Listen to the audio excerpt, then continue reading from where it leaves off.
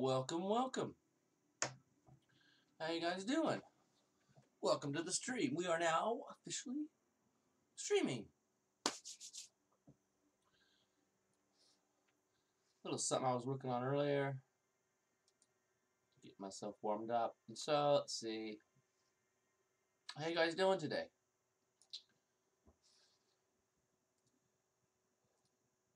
How you doing, Galactic? So nice to come on by. I'm so glad because I really wanted to do this tutorial with you. Um, can see you're so keen. You got you have so much knowledge already, you know, and just I feel like you and a few other people just need to like have this little lesson.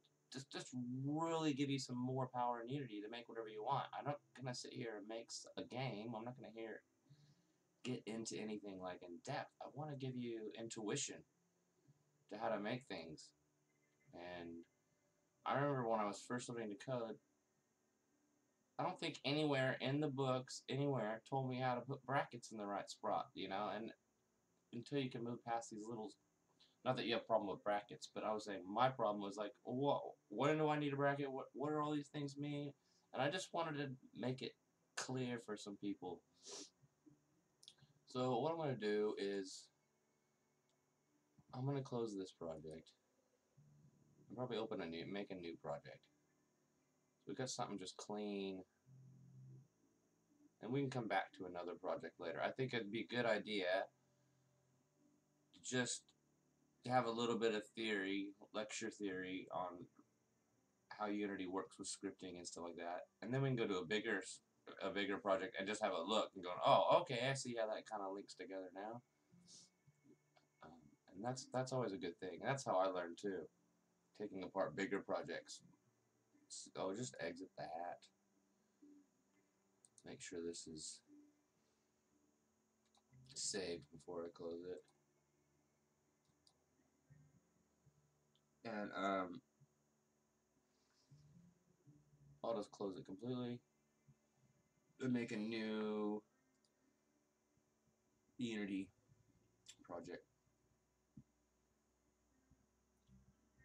Probably easier this way. If you guys have any questions, just ask. And if I don't answer your question, ask me again because I probably missed it. Um, I think what we could do, Galactic, since you're here, how far did you get doing your trigger collider script and that whole thing working? Because that'd be a good spot we could start with.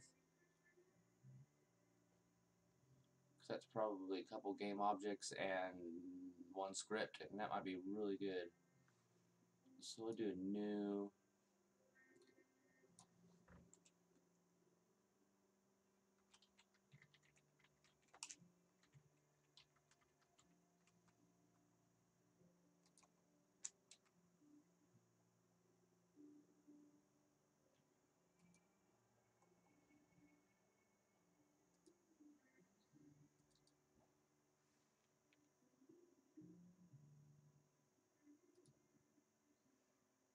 Alright, new 3D project, call it scripting tutorial, save it in my documents, Unity, create a project. You actually never figured it out. So let's two let's kill two birds with one stone. I'm gonna make I'm not gonna write it for you. Well, I, I can write it for you, but what I want to give you to you is, is how it works. Um, that's more powerful than giving you a script. Like, what I want the basic idea is that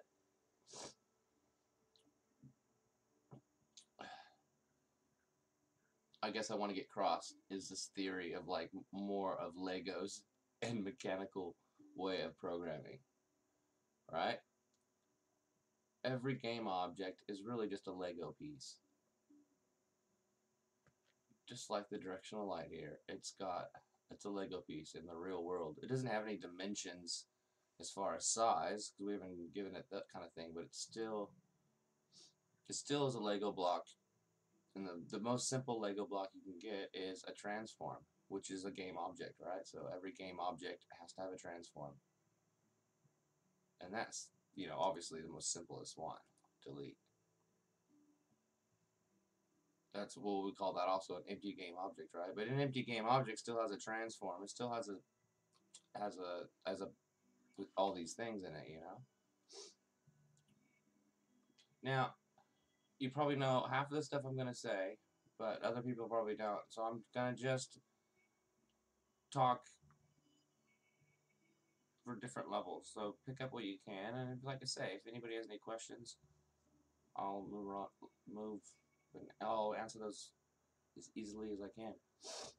So what you're doing is we wanted to just do like a basic trigger collider setup so that we could just activate. Basically, it's kind of like a switch in a way.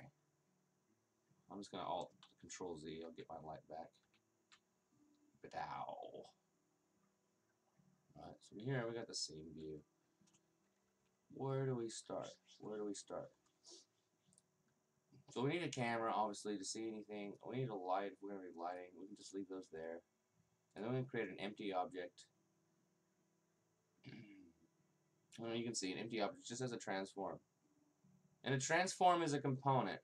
And uh, just using that word and putting that out there because it comes up a lot. And so understanding what a component is. This game object only has one component called the transform. So you, so if you ever try to call get component this game object, you can never get a game object because a game object's not a component. It's a game object, just so you know. Just how the wording goes. Sometimes it's like the wording. And everybody knows how to add, make a new script. You can do it a couple ways. You can either just right click and create a new script here and name it. You can also, where you want to put it, you can add component and name your script something, you know, some script. You guys probably know this. And if it doesn't come up the list, then you can say new script. Yes, this is the what I want to call it. Whatever. We can do that now. And I'll just call this um, example script. Okay. I'm going to call this example Unity script because writing programs for Unity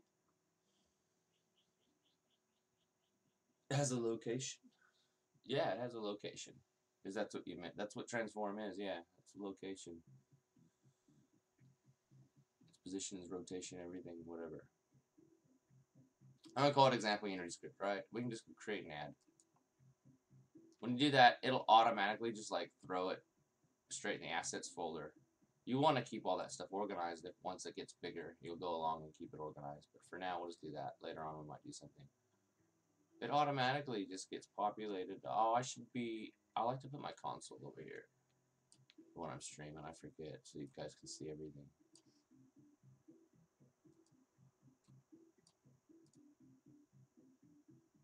So if I click on my assets folder, that new script I made, it's got nothing in it it defaults, just puts this information in. Let's have a look at it. I'll actually cancel Visual Studio and I'll use MonoDevelop for your first script because it's your first script, you probably don't have Visual Studio installed.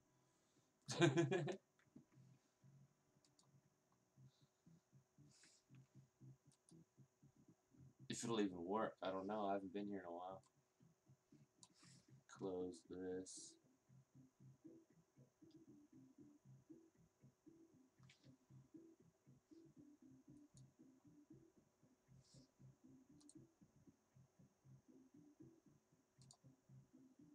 One sec. Visual Studio wanted to open up anyway. Okay, um, Yes, so since you can't get a game object, you can get the transform. You, that's correct. The transform is a component, but the game object isn't, and that can be a, a weird thing. But if you have a transform already, you can get the game object really easy, because you just say transform dot game object. That's already built into Unity, so that you can just grab whatever game object that it is already. In fact, you don't even need to say transform.gameObject. You say gameObject, and we'll, I'll go over that right now, with the lowercase g. That is referencing to the transform. So let's just start straight there. I'm not going to go do anything, but we'll just start with these two things here. Example script. Um, mono develops here. I'll bring it over and resize it. And I'm using this mono develop so that it's everybody has it. You know what I mean? If you're new to new to new to scripting, then this is probably all you'll have. Once you get a little bit better, then you like you go on to Visual Studio. It's just really is the only option. Now, all the text here is was defaulted by Unity. It made that. When you say make a new script, it just makes this every time, you know.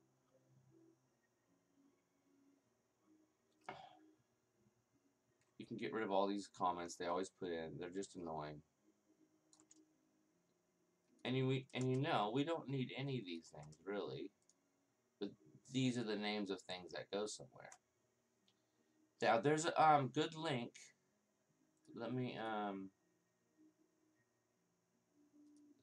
see. So if you go to um, mono behavior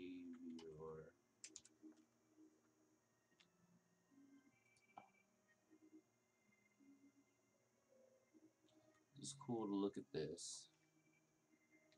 Let me see here. So, you see all these, this list here. I'll give you the link, copy, paste.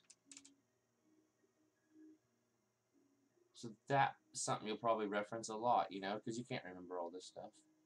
But like you know about awake and fixed update, late update. These are all the um, methods that you can actually add if you wanted to use them. You know, in fact, you used a few of these yesterday. Not on collision enter, but you did on trigger, which would be down on the T's. You see on trigger enter and I exit. See, you can add any of these things to do your behavior that you want to do in your script. There's so many ones. The reset one's cool because that works when you right click when you um, go right here and you hit reset that will run whatever's in that in the reset method. It's kind of cool. So with that tool, knowing this list, obviously here is start and update. It's the last two. Um, those are the ones we use the most. Start, update, and awake.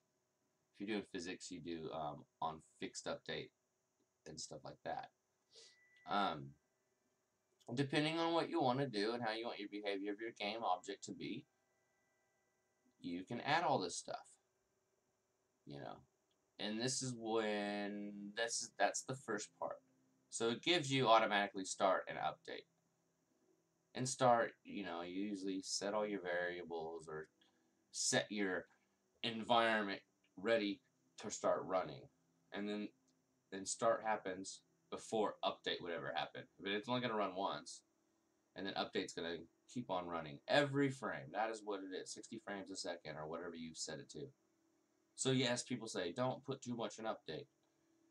That's true, but you just got to realize that's part of the game. You don't put all of your code in update, like setting your variables every frame in update or whatever, uh, checking a boolean or doing some stuff in update, even your input keys and code, those things need to be in your update so they're smooth and smooth. So that's where your code goes, is inside these. And if you add other things, you know, like you, you'll get to that. Okay, so, um, back to the script.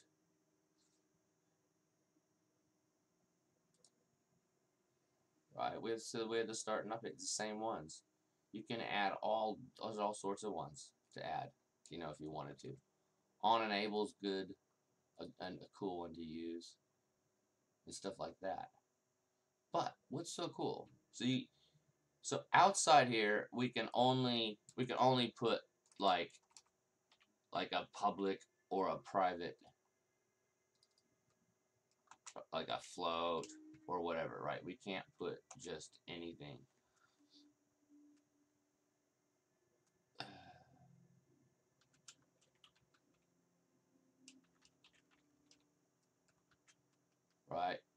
Here, but we we can't, you know, you can't do that inside of here at all because it's not accessible. What am I doing there? So you know that. I, I know you know this stuff. I'm just trying to make the point so we can do something with that.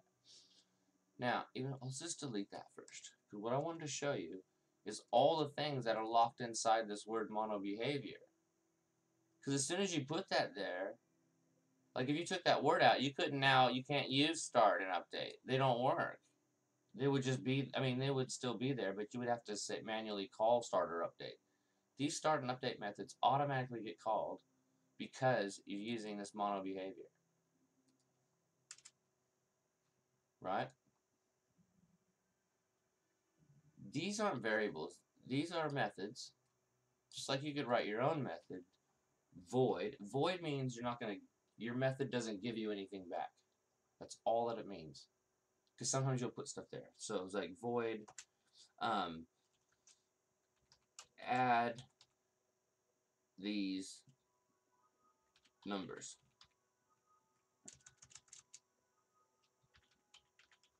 Right? It doesn't matter what we call it.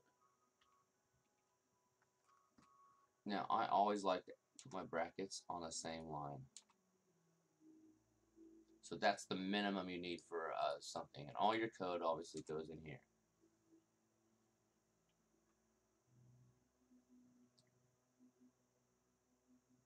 So, method, function, method, function, they're, they're the same word, same thing. They will all work. This one will never be called unless I call it somehow. Like, if I went and start and I said, add these numbers, I'm going to do the little thing behind it. When it starts, it'll go and run this code, whatever's in there.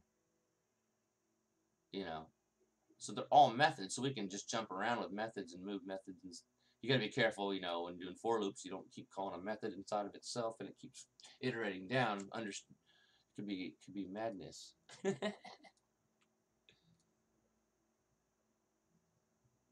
so, which is nice though for organizing. This is this is the best part is that you can in in, in coding you can just do whatever you want and keep putting more and more little methods. But the mono behavior part is has all these things on it like start, update, reset. We can even do that. Like it's really cool. In fact, we'll just do it because you probably never use reset. So if I do type in void reset and like that, hit enter, do a bracket, hit enter, do another bracket.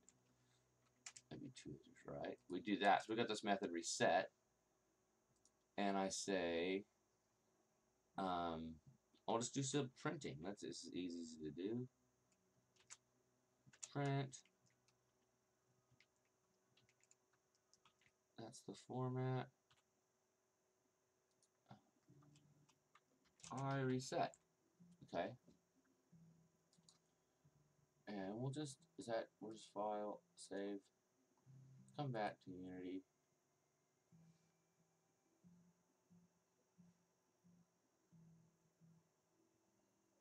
I'll add another tab down here.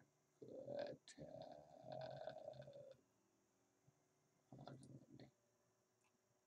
You can see. So I'm not. I'm still in editor mode, right? I don't have to hit play or nothing. Um, our script has nothing on it, nothing declared. But if I hit reset right now, boom, it printed I reset, and you can you can see that in the. I'm not covering it up, right? Yeah, you can see it. Isn't that so cool? Um, you can do as many times as you want. So I didn't actually call, you know, I didn't have to make any code to call that.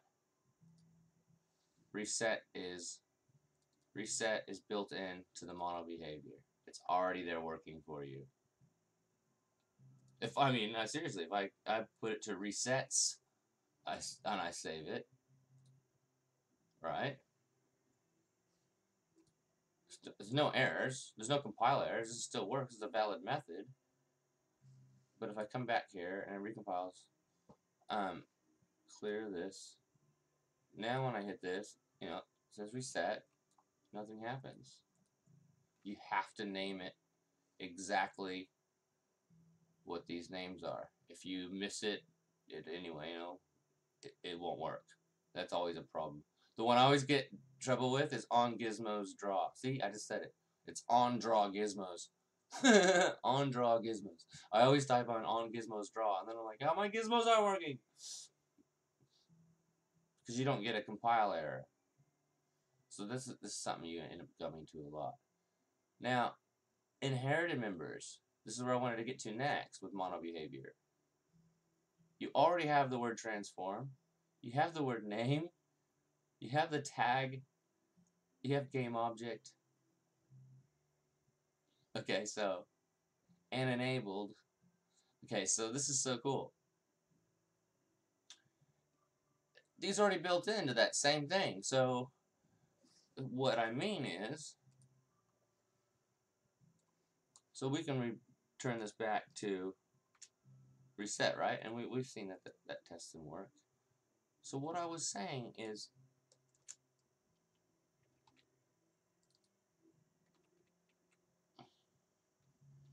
Hey, water retard, how you going? Fill me with the knowledge.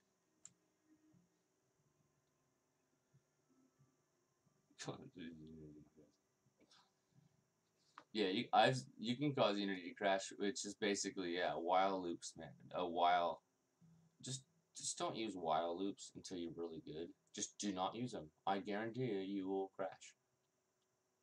Like save everything, close Unity down, open it back up, then do your while loop coding, just in case something freezes and you in it and Unity crashes. You'll be back to where you were that last before the last the last time you saved and closed. Okay, so what I wanted to say, inherited members. So let's look. So check this out. If I type in the letter G, A, what?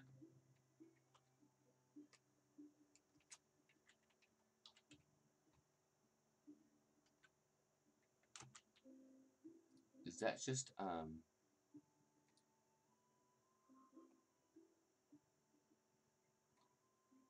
Don't give me that crap.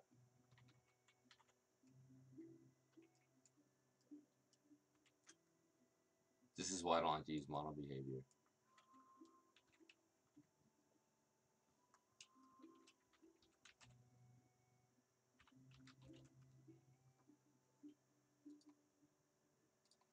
Oh, and that. There's no errors, right? Why would, uh... So this is why I don't like to use mono behavior, because I should be able to type that in. And it's not telling me that I can type it in. The debugging is not as cool. I shouldn't get any errors. No.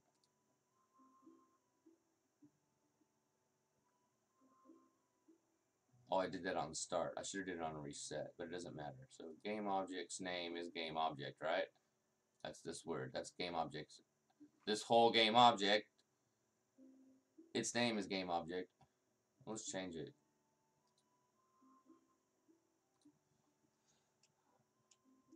R test game object, right? And I can do space. And if I hit play, we'll hit enter first. If I hit play, the console should say our test game object. So what we just did is show that the word game object is the game object attached to the script. Right? Example script.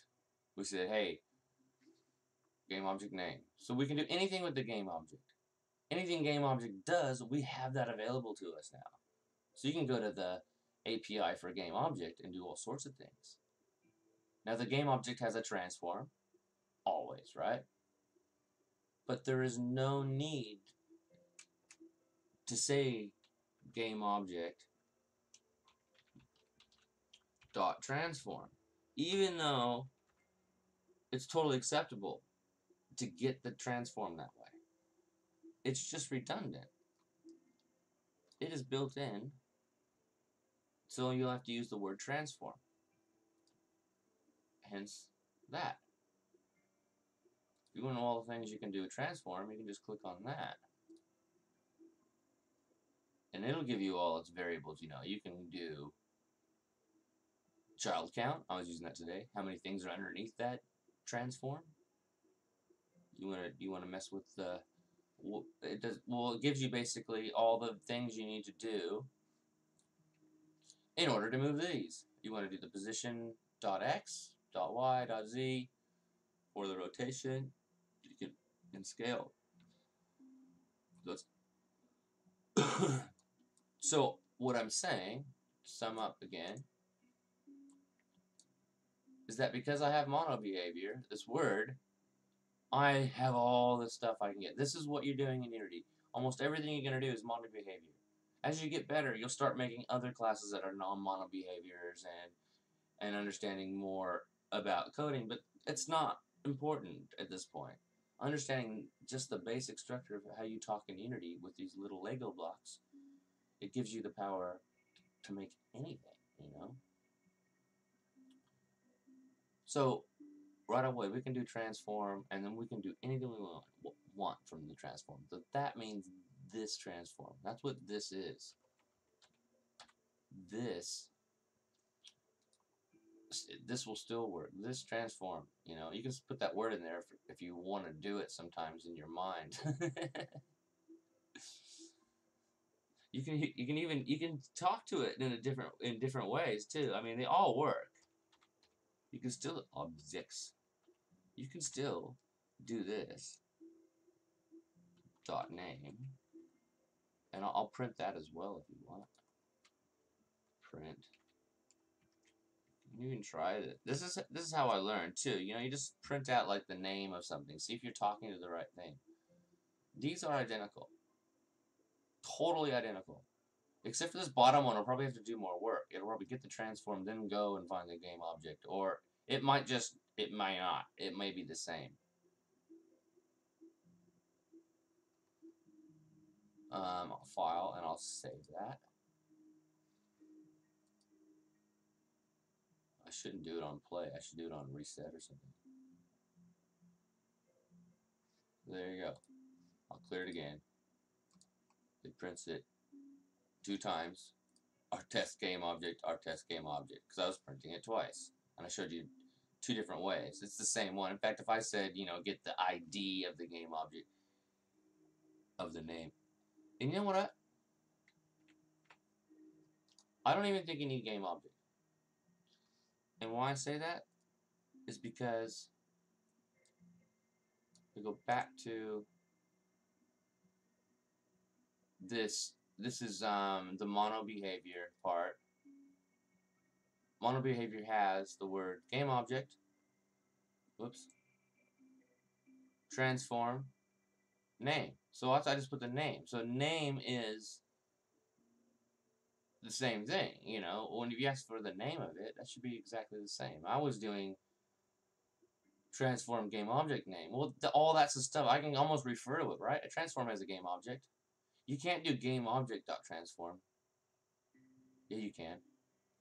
Um, yeah, you can do that. You can do game object transform dot game object dot transform dot game object dot transform dot name. I wonder if that would still work. It's just it's it's just it's bad coding though. It's just more understanding what you're calling. That way you can write less code. Because right now I just realized I can just write name. I would have always done that. Watch this in Super 2. In fact, on reset, we'll do, um, we'll say something. Um, print this information, please. I could put please on on there. So what we'll do is cut that out of start so we don't have to restart this. And let's put this in reset. I'll put that here. So I'll make it even more confusing. So on reset, we want to print this information, right? Cut we say print this information. See, it's, it's here for you. Usually most things should be here for you. And you know you're on the right track. So that we don't have to enter play mode. So if I print this information, I want to print this name. That's the name of this mono behaviors game object. But this is attached to a game object, right? So we don't have to say game object. And we want to print this transform.gameObject.name. But I was telling you, they're the same thing. So we're going to get the same thing. But now I can just do it with reset with a right click. File, save. I'll clear the console and then just go here and hit reset. Boom. Our test game object. Our test game object. It's kind of nice. We we know we only have one object right now, and we know what its name is, so it's really easy. It's the best way to learn and uh, and hone in on something because if it works perfectly here, you can bring it over easily because it shouldn't matter anywhere else.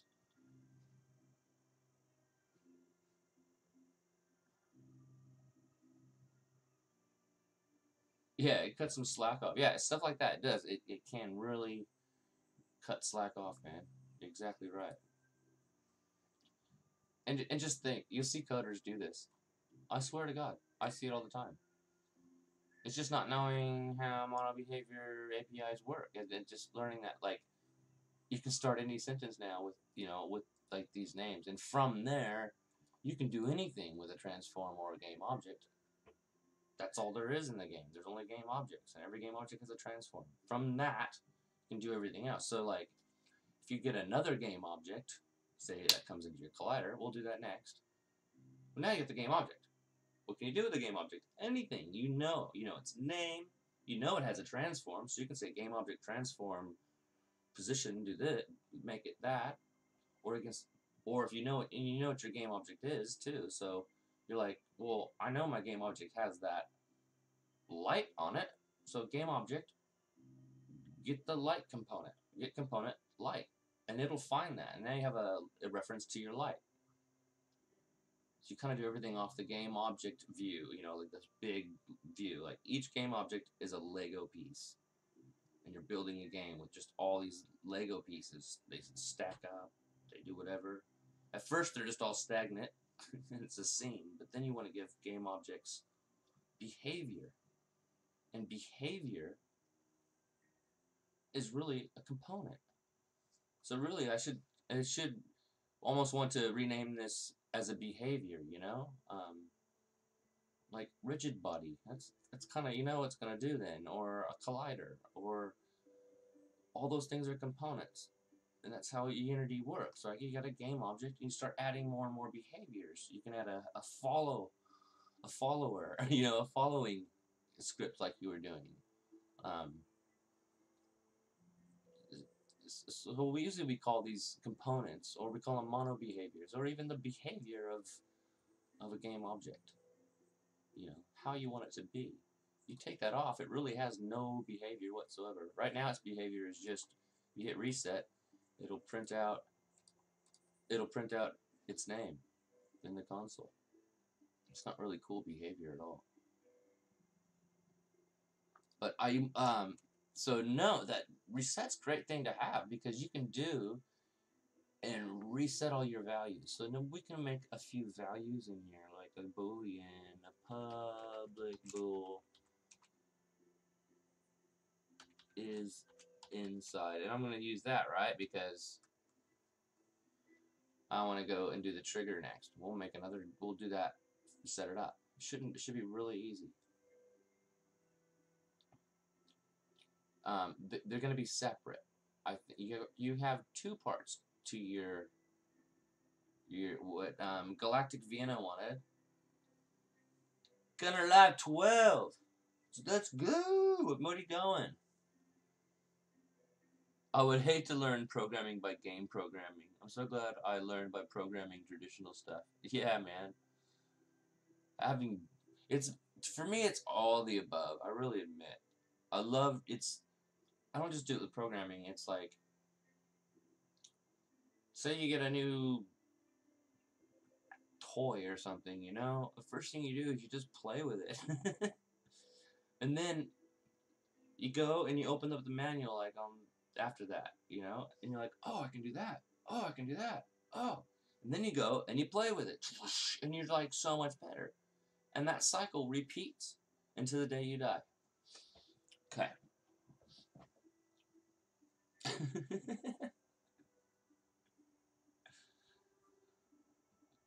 That's cool, man. I'm glad. I really feel like a lot of people haven't had the basics or missed out. And I remember when I was doing the basics, there's there's like the basic basics, like how where brackets and stuff needed to be. Or I mean, you guys make sure ask me any question. Just ask me because um, it helps steer where what I'm teaching right now.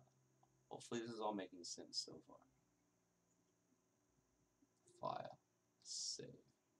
I think I might switch over to Visual Studio though because I like the color better and I can almost it stands out and I can show you Visual Studio looks and knows everything you're allowed to type too. That's kind of what's nice about it.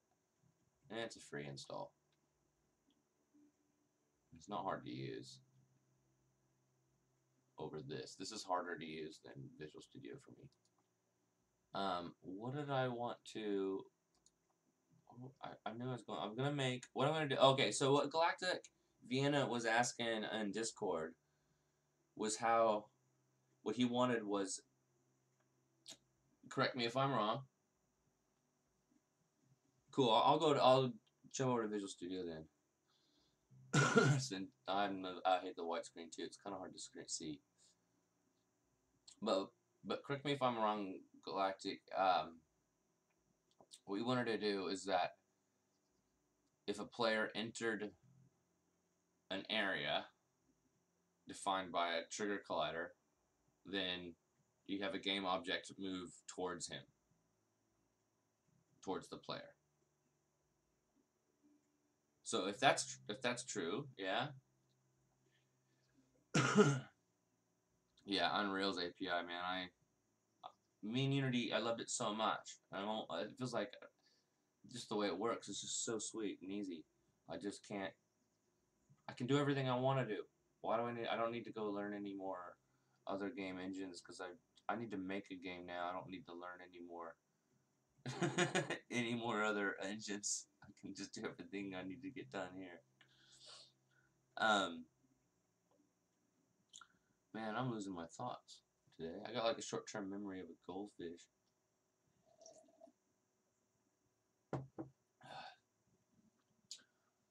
So you're, I think you're, um, galactic. What you're, um, what you want to do is actually two parts, and one of them is first just learning how to turn on and off a collider, or knowing when in, in or outside of that collider, and seeing that trigger. And then once that hap- once that happens, it's almost like you can take that mechanical trigger system. So really, if you just have a sphere, if you think of it that way, you have a sphere. When a game object comes in, the sphere goes, hey, something came in, you know? And when you go out, hey, something went out. It does that for every object that has also a collider on it, you know? Um, the, the, the, the sphere is just a trigger, so you can't, you don't like actually walk on it or anything Actually, that might be a setting in Unity. You might like turn on or off like a toggle if you collide with them or not. I don't know, but I don't think so because it's a trigger. we'll do that right now. It's really easy.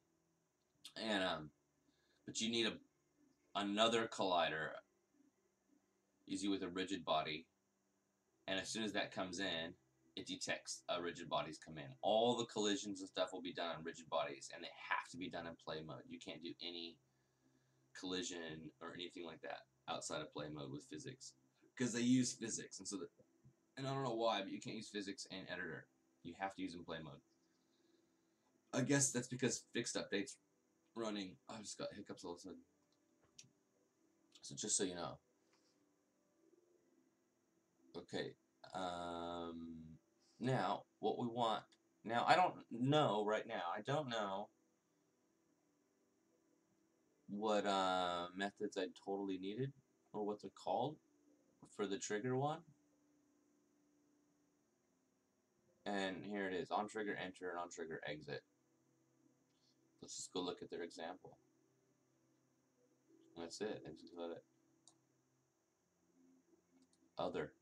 So when this on trigger enter, it's referring to a collider. So it's only only things that would have colliders are going to work here. You know what I mean? That's what I'm saying. So your other thing has to have a collider. You have your trigger and your collider and your other. But other, if it has a collider, it's also a game object, is it not? so you can do whatever you want now. So you can say other dot game object. I think last night, Galactic, I told you other dot something, and I didn't put game object first. Because I was thinking other was a game object in my head, just because I was in Discord not looking. But, um, other is going to be the collider that comes in. So now that we have that collider, and the collider is a component, a mono behavior, it's probably a hidden one because Unity wrote it, so you can't go look at the code, but um, now we got other dot game object. Well, we can do whatever we want, right? In fact, we might even be able to go other dot transform. If not, we can go other game object dot transform and get all the get everything we want about it. Anything we want, any whatever. If it came in and it's got a collider, boom, we've got a reference to it, and we can do something with that. Okay, and so we'll we'll set that up now. That was our first test object. There's that is inside. Oh, that's what I was gonna do. That's why I was filling the bug. On reset is a good spot to put like is inside. Oh, we're going straight to um, Visual Studio here in a second. In fact, I might just make a new script. Just move on.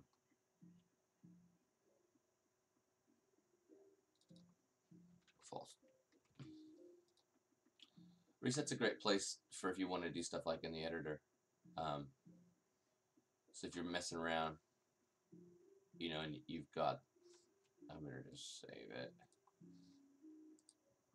So you're messing around with different things. You didn't want to accidentally, I think it's if you hit play, so your reset doesn't run. So is inside stays true stays the state, whatever I put it here. But if I hit the reset, boom, you know, it'll hit, it'll go ahead and re redo it, which is kind of a nice trick. So you can read, you can do all sorts of stuff, you know, like by having that built in. That's such a nice little thing to have built in. That's what it's for. It's exactly what it's used for. So you could have a thousand variables here or different states. You have like kind of like a default state, you know. Um, I believe it won't work. So if I do is inside equals false, right? Which I don't think it actually resets it here. It's only, it just runs this method. I don't think it resets the script is what I'm trying to, to um, get the point through. Clear that, hit reset. Make it true, hit reset. Oh, it does. I did save it, right? I did false it out. Oops. Yeah. Well, I lied. I didn't think it worked. I don't know if it always did. Alright. Goodbye, Mono Develop. That makes me think of having on reset with a timer that resets at a certain time. You could do that. I probably wouldn't use that particular reset just because it's monos, you know, and like it, it may not have any issues. I'd almost want to make my own method. um, and run a timer. There's a really easy way to make a timer. I'll show you with the time.delta time in the update loop. It's really um, cheap without having to make a coroutine and stuff. I can show you that another time. Alright, example script, we can just remove that. We'll just remove the whole game object. Okay, that was good. That was a good that was a good little start. Let me create an, two game objects. One is gonna be our player.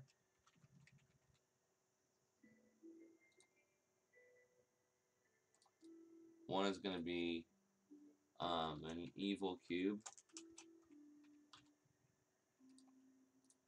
And one more object. This will be our um this will be our our trigger.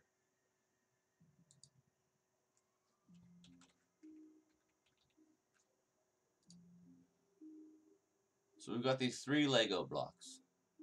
A trigger, an evil cube, and a player. Okay, let's um let's get them to put something on them so that it makes it's more discernible, right? So the player will add to just a capsule, right?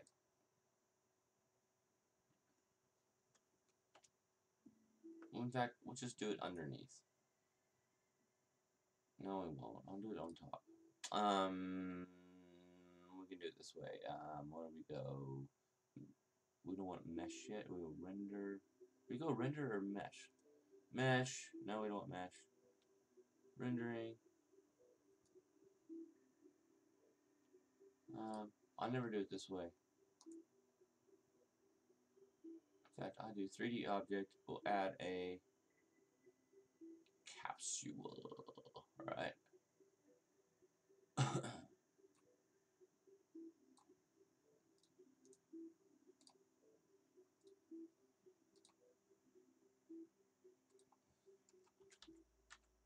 We'll rename the capsule player.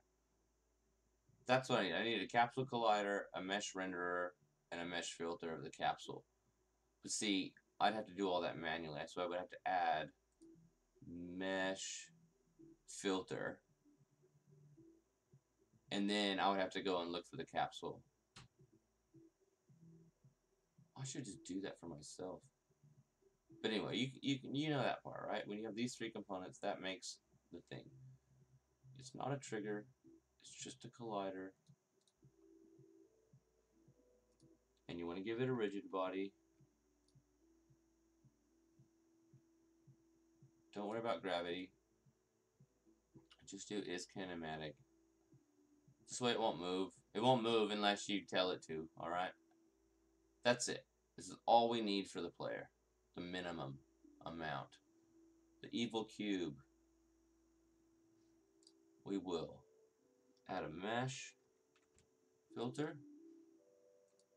And these are the available ones from Unity. Put the cube.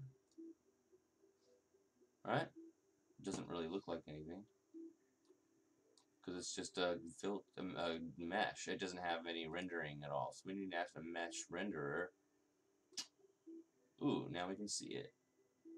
We don't have a material. So let's add a material, just the default material. Now we can see it. Now, it won't collide with anything because it's just a rendering of a mesh. So we need to add a component, a mesh collider. Look at if you type in the word mesh, it's kind of all your things you need are right there. Those top three things. There's even more things you can do later. Um, so mesh collider.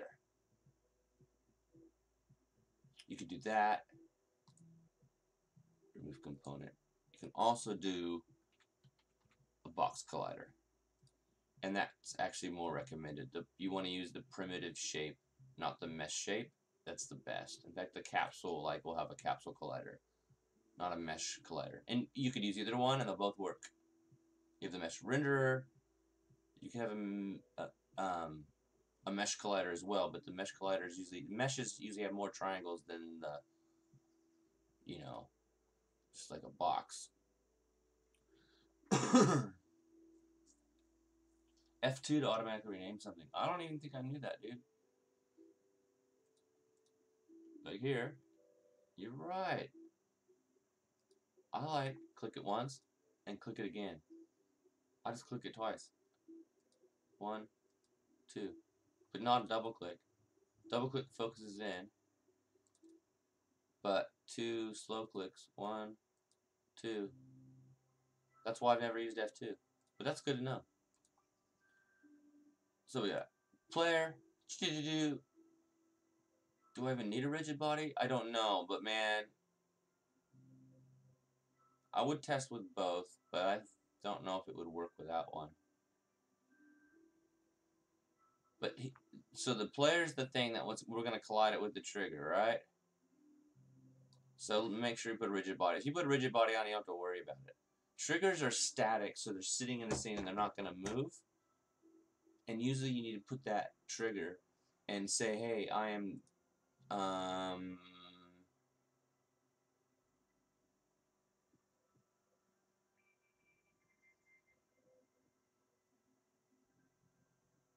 I think it's everything static. Actually, I don't know if it matters. I'm going to try it without it first. Add component. Let's add a sphere collider. And let's make it like 2 radius or something, right? Let's make it bigger than that. 5. Put him at 0.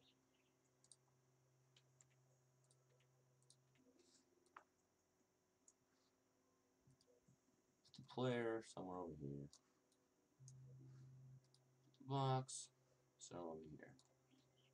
We got no scripts yet, as far as I know.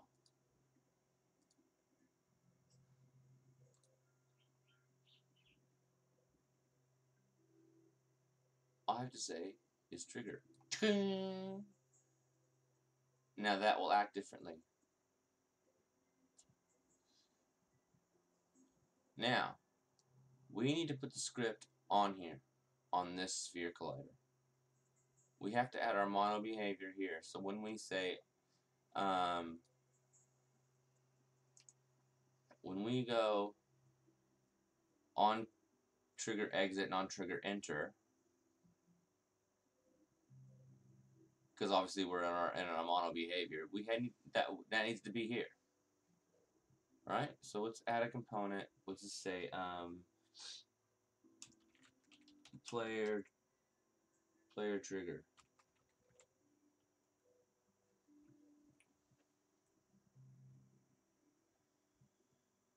And we'll do new script, player trigger, create an add just automatically puts it in the assets like always. Visual Studio. Get that one going instead. Oh, yeah, yeah. That's my stretching. Oh, that's loading. Oh.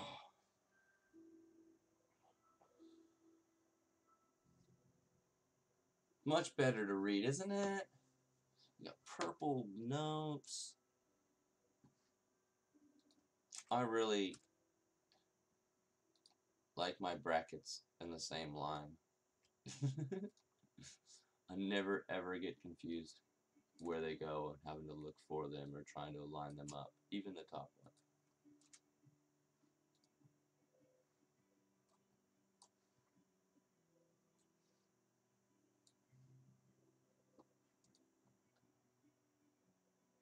Um, so I'll just delete those out, right? That's all we need for a class. If you take this word off, Unity will mess up. You're not allowed to add it in Unity at all. You cannot use it.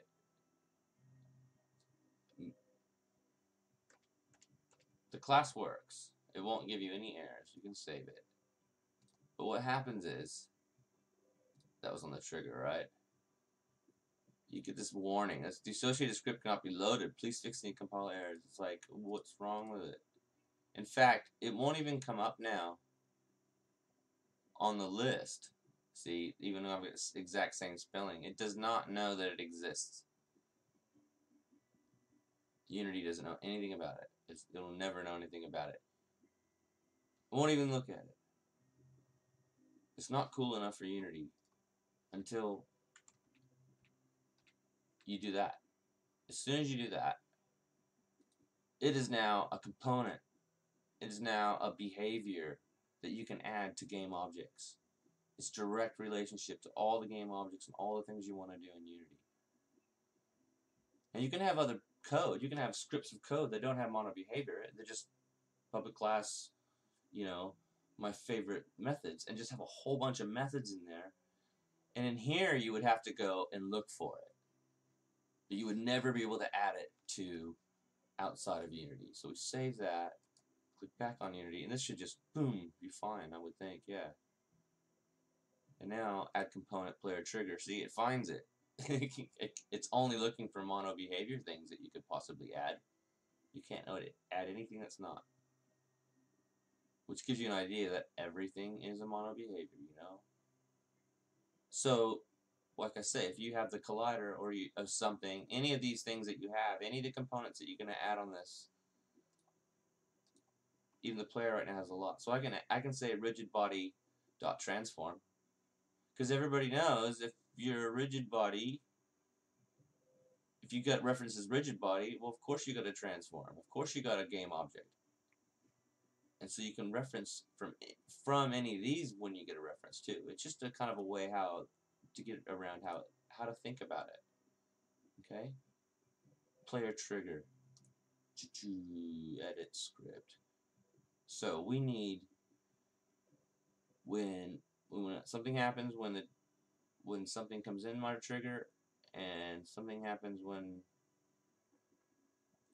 we leave the trigger which is void on trigger enter. And it's going to look for a collider. Collider. And we can call it other the other we can call it anything we want. That word doesn't matter. Out of the, all the words. And then you need to see you got an error still? You need to do an open and close brackets. Because all your closed all your close code goes in there. Now did I write it right let me just double check. On trigger enter. See void. That means it doesn't return nothing. It just does something. On trigger enter. Collider. The reason I double checked is because the other one on collision on collision enter it's not looking for a collider it's looking for a collision. So it's different it's not a game object. The collision is like a is like a point.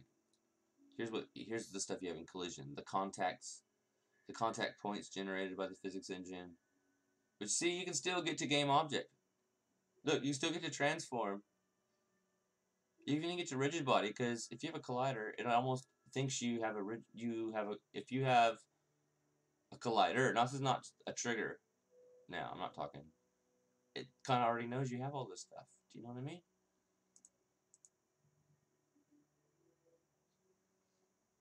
Okay, so back to let's write up a script. So I was right. So what you want to know. So obviously right now, so on trigger enter, tons of any object will come in. Oh, let's just do this. Print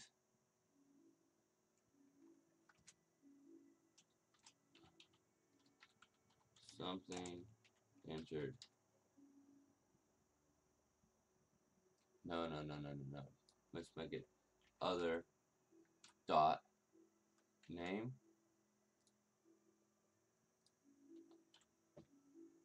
Alright, so other is a collider, which is a game object attached to it, which should have a name. If it doesn't work, you'd have to put dot. No, this should work. On trigger enter, print this other name. trying to do it so simple.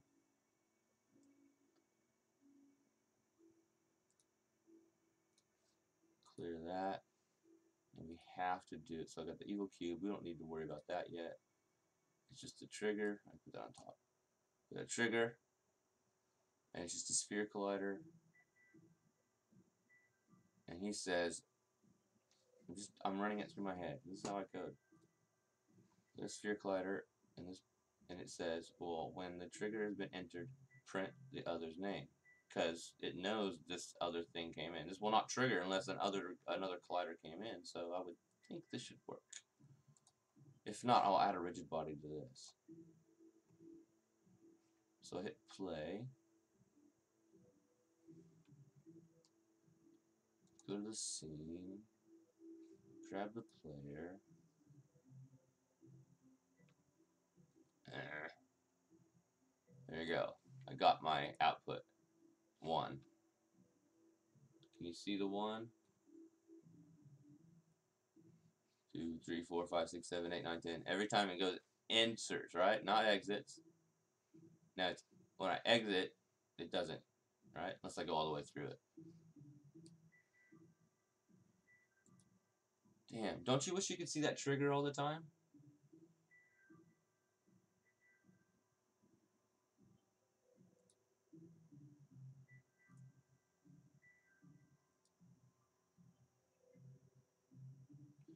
Well, I'll show you a cool trick.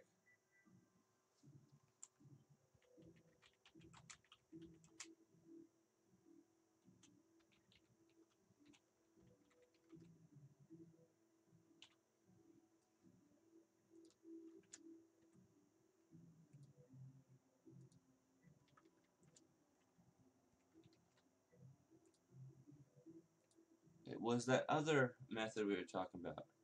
On draw gizmos.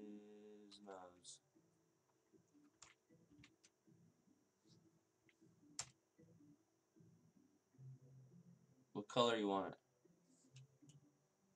it? Gizmos dot color equals COLR red and gizmos dot draw. Look at all the things you can draw. Frustums, frustum. I always want to say frustrum two R's, but it's one R. Frustum, cube, icon, mesh, ray. Well, we want to draw a sphere because um, that's what we have here. We're going to show that exactly, right? Where's the center? Well, the center of the sphere,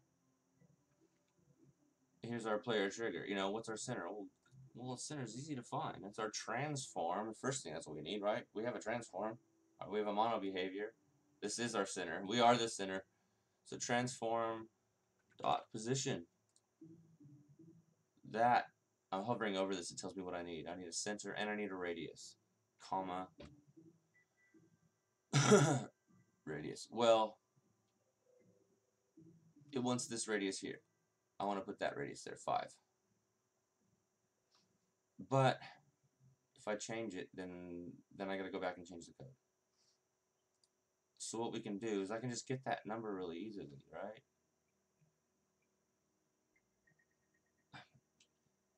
I guess the most expensive way to do this is different. Honey Bunny, how you going? Those bubble effects. Aren't those cool? Oh, I have some other bubble effects I need to have going across the screen. That's called Power Mode for, um, it's an add-on for Visual Studio. That makes the bubbles. We need a radius. I don't have one yet.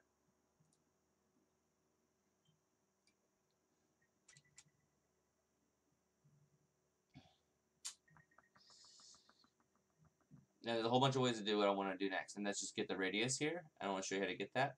From this script, we want to get this radius. So from here, we need to go, we need to say, hey, get the component sphere collider dot radius. It should work out that way. I haven't done it, but you can look in the API as well here on this screen. Let's go back here. So we go um, so we want to know a radius, right? So we want a float number, radius,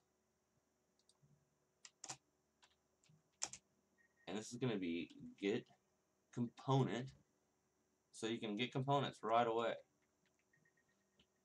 And so you can write any component you want here. We're, we're trying to get a float value, so I'll show you in a second. New component, we wanted the sphere collider. S-P-H-E-R-E, sphere collider. It's saying you can't get a sphere collider. It's not a float, right? We were not. We want the sphere collider. We want. We wanted that sphere collider dot radius. By doing it that way, we made a make a red. We'll be able to make a red sphere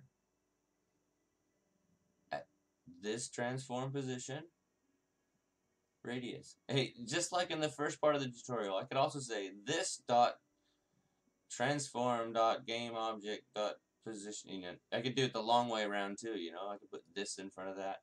This is what I love about um, using Visual Studio. If I put this there, it kind of like unhighlights it. It's like qualifier this is redundant. There's no point in put, putting that. If I put in game object, I'm surprised it didn't tell me it was redundant as well. Double click, delete, delete. So that should be it, right? Transform position and the radius. We draw a sphere of color red on draw gizmos. And what's cool about doing stuff here, if you can keep everything out of here, because what on draw gizmos will not be included in the game in the final build. So you can make all this stuff for yourself to view things. Even in even even if this was included in your game, the trigger part, but you're like you don't have to worry about optimizing this too much, okay? It might be a little bit this is probably the worst way to do it. Is because every time this thing draws, say this runs say 50 times a second when you're drawing those gizmos, it's going to go and get the component every time. And that's kind of silly. We Normally we don't do this. We, we would cache, cache this value. We would see, we would we would actually make a reference outside here of a, a private one and just make a sphere collider. And we would just check if the sphere collider is null or something when we need to reset it.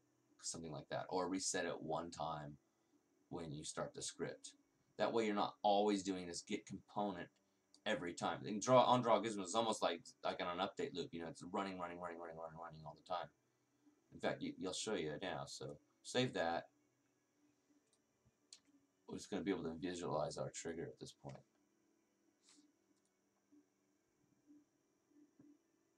Boom. Hey, look at that. I drew a sphere. I probably shouldn't have drawn a sphere. But I'll show. I'll draw a wire sphere instead. I didn't uh, include the boolean. But now if I change the radius, you can see. So on Gizmo's draw, it's it's it's it's making that thing the whole time, you know. Okay, let's um. It's draw wire sphere. And the only reason you learn about these things, you just, man, I swear having Visual Studio helps so much. It just tells you, or just going to the API and just having a look through when you're doing it on the day. That should be better. so there we go. So now we know when we enter and exit easier, you know, no matter what we're, we're we've got that gizmo in our scene. In fact, you can do gizmos in play mode too. But I can't really move the player, can I? If I get the right axis, maybe. No, it's like going behind it.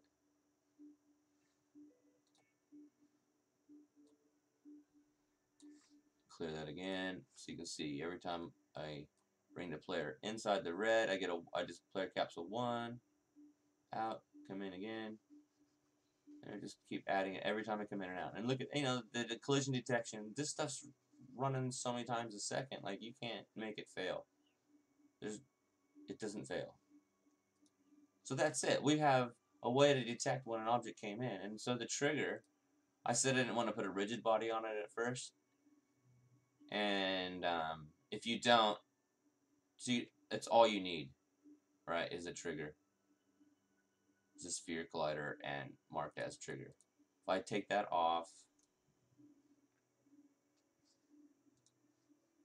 um, and go to the player, clear my console. That will no longer call the console will not show up anything. I have to say is trigger. There, works perfect. So that's even something you can turn on and off with code as well, just like I did the rate got the radius on that sphere collider. And that's, I mean, that's exactly what we were doing is how we talk to scripts. But later on, you learn how to optimize it better, so you're not doing call get component every time. It's it can be slow. But if you you have to call it at least once to get to get a reference to the sphere collider, you have to call it somewhere. So what you could do, I I want to I don't I don't want to do it on start.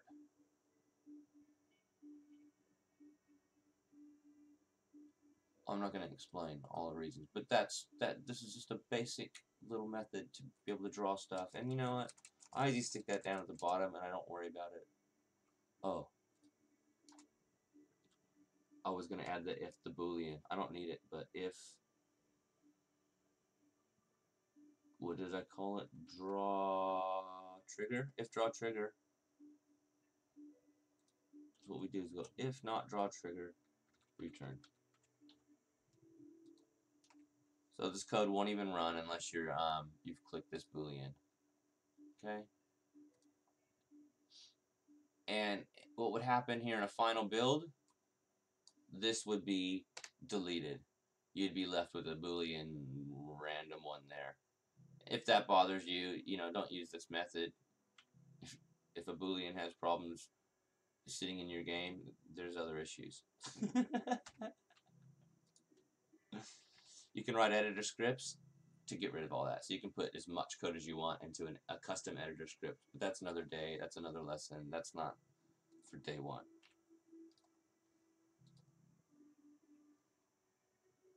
So we can just manipulate this now. That is all we need.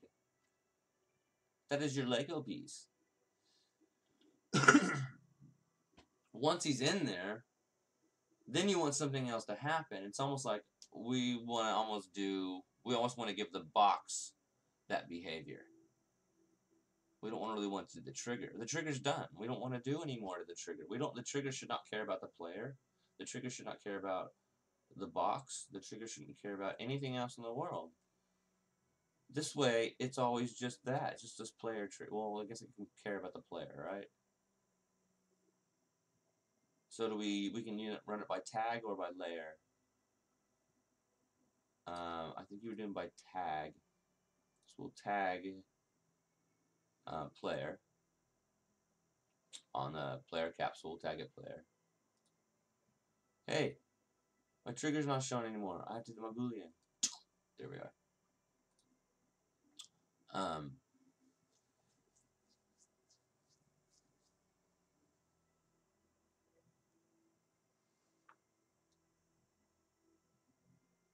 What is control plus scroll? When did you ask me that? Try and make the font bigger. Is it need to be bigger? I will. And that's control press scroll anyway. Whoa. Just like on Firefox or internet. I can't make the font bigger on Unity though. That's that's just how it is. Alright, that's it. So obviously we probably want to copy this and give some more behavior and just change that word to exit. And now it'll also work. We just added the exit part now. It's no different. It guaranteed it'll work. There's no reason it wouldn't work. I would be willing to bet on that one. But what you want to do, we want to get the name now of the player. So what we do, we'll just leave that print there, okay? So if if other is the player, right? That's what we want to know. If the other if the other thing is actually the player, we don't just want other's name. We don't know what other is, but if the other is specifically the player, and we know that by tag, I want to show you something that's a big mistake. A lot of people do other dot tag equals equals player. And don't do that. This allocates memory. They have a built-in method already for you, Unity does, that does not allocate. And it's called compare tag. You can find it as soon as you type in tag. You'll see it there. There's tag and there's compare tag. So compare tag, it returns a boolean. So you don't need all this stuff then. It makes it even cleaner. Well, what's the tag's name? Just stick that inside there. Boom. That's it, right? So this is either going to be true or false.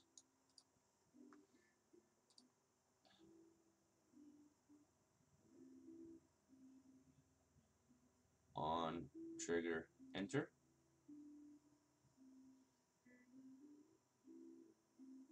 Collider. Because that's what we're getting, right? That's what other is, right? Other is a collider. Inherited members. Uh, some of that and public functions are also things that are there too. And one of them is compare tag. That's exactly how they've said it. If other compare tag player.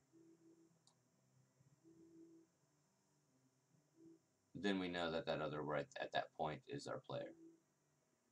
Or the player has entered. We can do something now. That's the correct way to do it. But I wanted to show you that. Because the other way tag.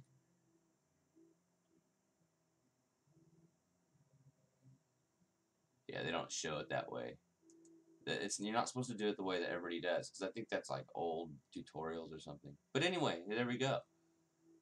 Compare tag as player. So yeah, we're gonna find the player if he comes in, right? We'll print. We'll move that down in there. Of course they're to be the name. The tags player. Oh, the name is player capsule, though, I think. Save. And copy that as well. Copy. Paste.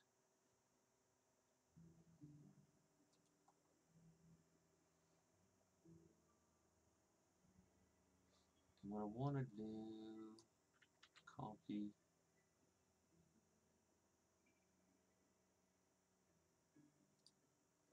I want to show you how, whoops, did I save it before I exited?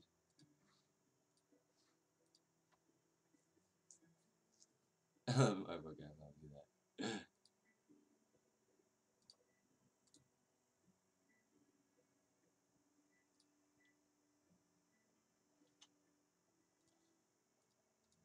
Yeah, if you're going to move anything, you always have a rigid body. If you're going to move it with physics forces, you're going to do you're going to have no is kinematic. Use gravity, obviously, if you're going to use the gravity in the world or not. Um, some things you want it, some things you don't. That's why I don't.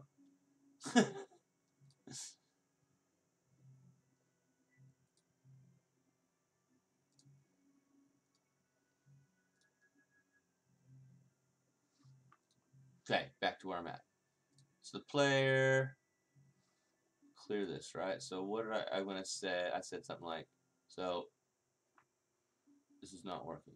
Oh, you know why? I turned that trigger off. Oh, no, I didn't. Yeah, I did. Okay, I want to show you something.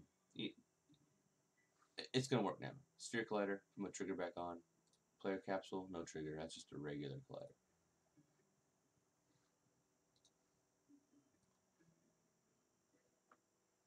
It didn't work. Oh. You didn't catch that, did you? I was in play mode when I signed that tag earlier.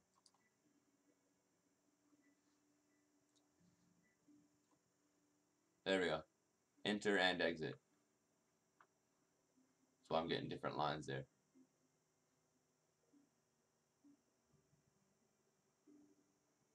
Alright, and if I move, if I go to the cube, clear the console, I shouldn't get anything.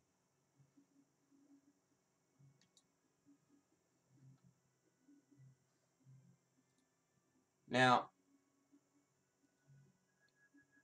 this value here, this is trigger, sometimes you want to ensure that it never ought accidentally, because you know sometimes you click here and you'll click enter somewhere. Look, I just hit enter, I didn't even click on it. Hit enter again. You know, like you, and you uh, mistakenly do that in the back of phone call or whatever. And so what to do is if you're smart, you do void start. This is like in the start method, like this because this only run once. Say, um, get component. All right, we got to get the component. It's the sphere collider. Right, and what's the sphere collider? What do we want to get? Dot is trigger and we want to make sure that that is true. Boom. Now, by doing that,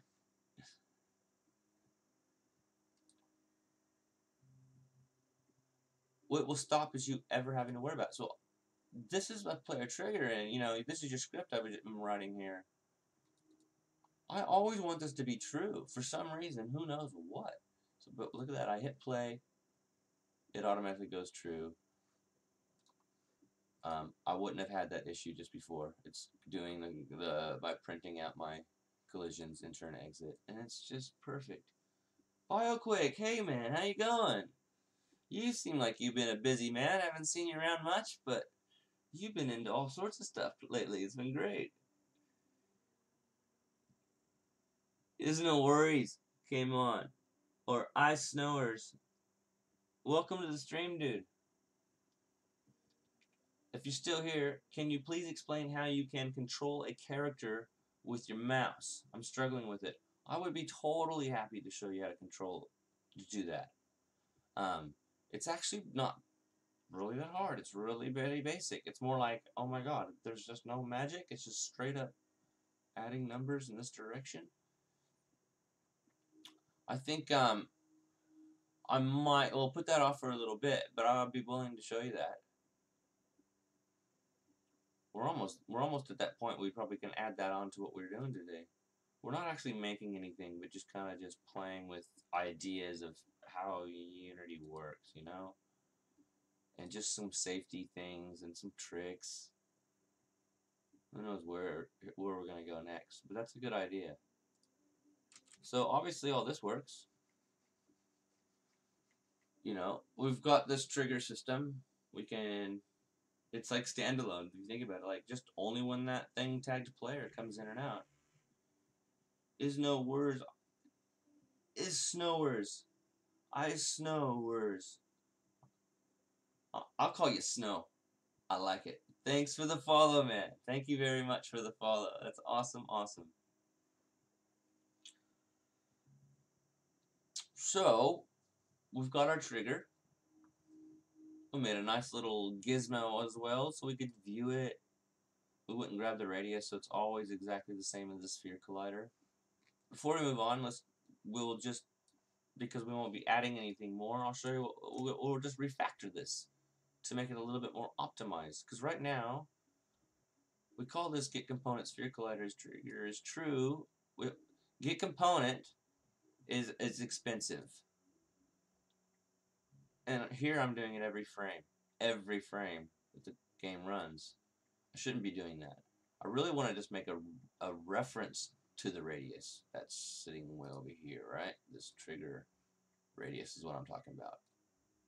So it's always running, but at the same time, yeah, it's always getting the radius and, and going to that. But it's not just getting the radius, it's going here, looking through here, looking for a the sphere collider, and then getting that radius. That's expensive than just getting the radius. You only want the reference once, you know? It's like, it's this equivalent of going, calling one friend to get another person's phone number to get another person's phone number. You just want the phone number. One way is a lot cheaper. Because really, when I'm saying phone numbers, I'm just talking memory addresses, aren't we? So what we do is outside here, we can do we can do it public or we can do it private. Private's the only one we need. So you don't even have to put the word private, which it, it's defaulted to private. So I just want to have a sphere collider, right? And we'll just try this. We'll just call this our sphere collider. I'm not into shortening words all too much. Not not always. And I'm not into putting underscores in front of things either. I just it just makes it harder to type, harder to read. I don't like I don't like them. Anyway, so with sphere collider. Um you get this little underline thing when it's a private thing that doesn't understand. Let me show you what we'll do instead now, how we're going to refactor this. So instead of this line here, what I'm going to say is um, our lowercase sphere collider, right, our one that we just made, equals, we'll go and get it. Go and get that sphere collider. Now, I only have to refer to this word every time to, that's it. Never have to do anything again to get it. Now I'm to have an error probably down here. No, I'm not. What I want to do, I can get rid of that. I can just do the sphere collider.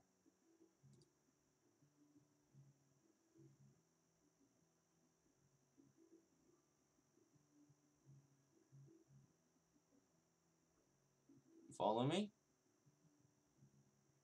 If you do it public, you can actually see it, and you can actually assign it if you wanted to as well. I don't think this will automatically assign. I, I foresee a problem. On Gizmo Draw is going to go, is going to try to draw the radius of the sphere collider. But the, the game, because this runs in editor all the time, there's no sphere collider in the editor yet, because start hasn't run. I'll show you what I mean. So I'm getting a null reference exception. And why that is, is because the sphere collider is not here. It's here, right? I could drag actually in here, and the null reference exception will go away, and that's all that that's all good. But there's no way to assign it automatically, like on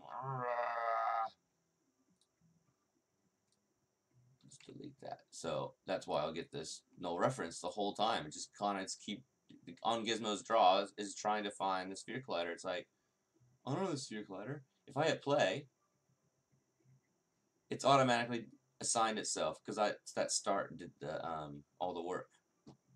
And as and the and the and the the reference exception uh, reference exception goes away.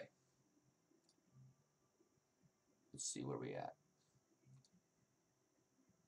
So I, I foresaw that now, but I wanted to show you the error and why. So for on Gizmo's draw, we don't care about performance. You're better off. Oh, well, there's. I want it to run. I want. I want. I want to go get that thing. There's other ways to do that too. So I could also say I, I could also do another if statement saying if that um, if this sphere collider is null, basically right now it's null, right? And if I didn't have anything assigned to it, then don't run on draw gizmos or go get the thing and do it. That's fine, I could do that too.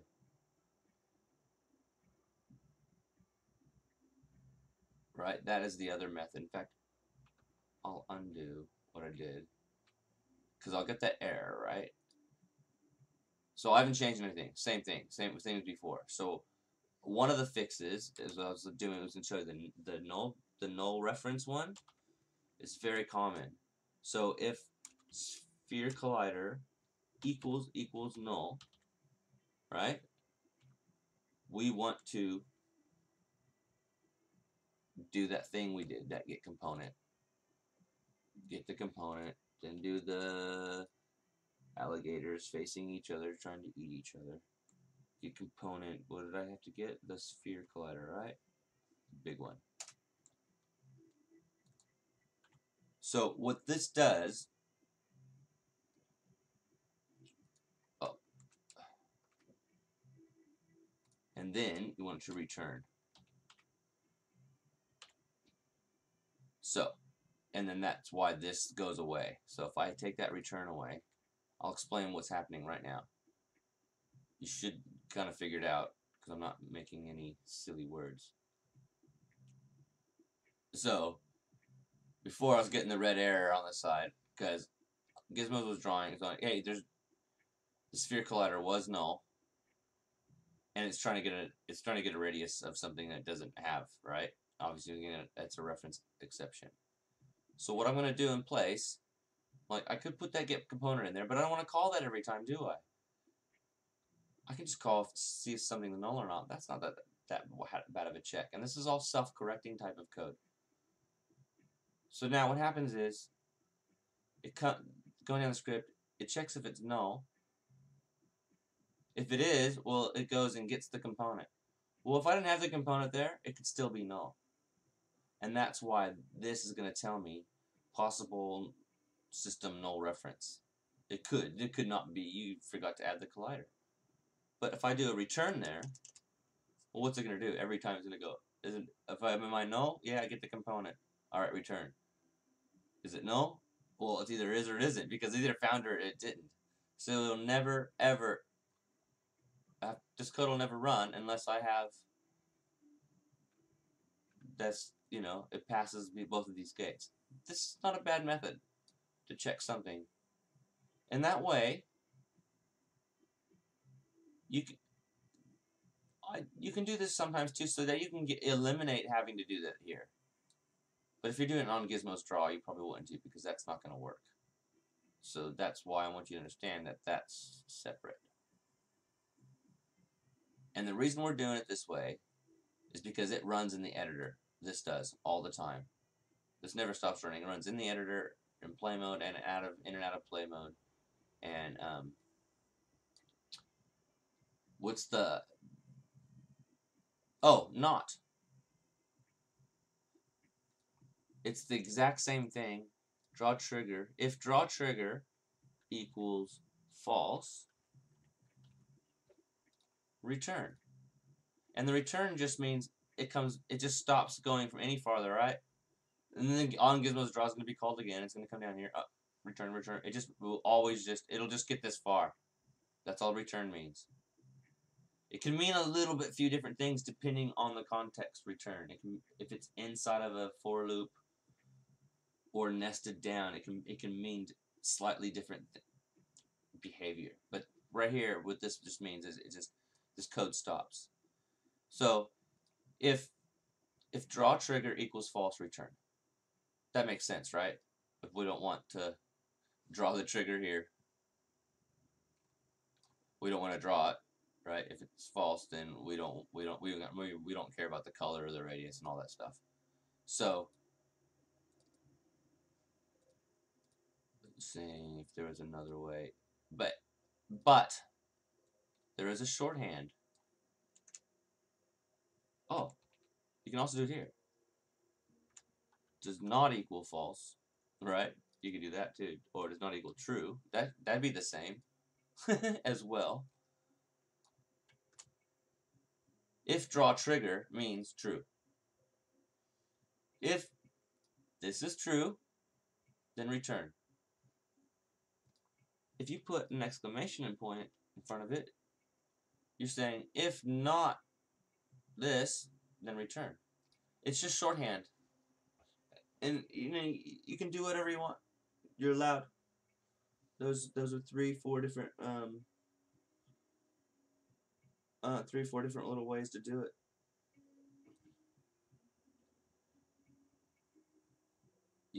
You see it here too a lot of times. If sphere collider does not equal null, you know.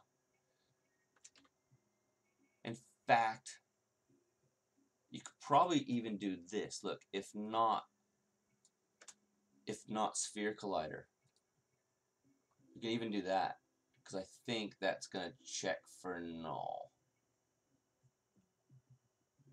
But I don't guarantee it because I there is a few things. Equals equals. Can you go not null? Yeah. oh no, it gives me an error. What is so cool is how you can flip a very you can you can flip a um a boolean really easy with that trick, right? So um um you would basically say draw trigger equals not draw trigger. And that'll flip it every time. Every every frame I go true, false, true, false, true, false. The um draw trigger will just by doing that. I think that's a cool little trick. No if statements. It's just making it. It's just flipping the, the boolean back and forth. It's cool. You can do that in an update loop, right? And make something run every other frame. So if it's true, then run. If it's false, don't run. And so now you got something that's running half the amount of frames, and you can make your code even better, more optimized. I think it's a cool little trick with a question mark. I mean, a exclamation point. I don't know why I always call. I know they're called exclamation points, but when I'm talking, I always call them question marks for some reason. Stupid me. Alright, where was I? Anywhere? I'm gonna have to go for a five minute break and pee. All this stuff works. If you guys want this code, this code, I'll just um, drag it into Discord. And if you don't have my Discord, there you go. Um,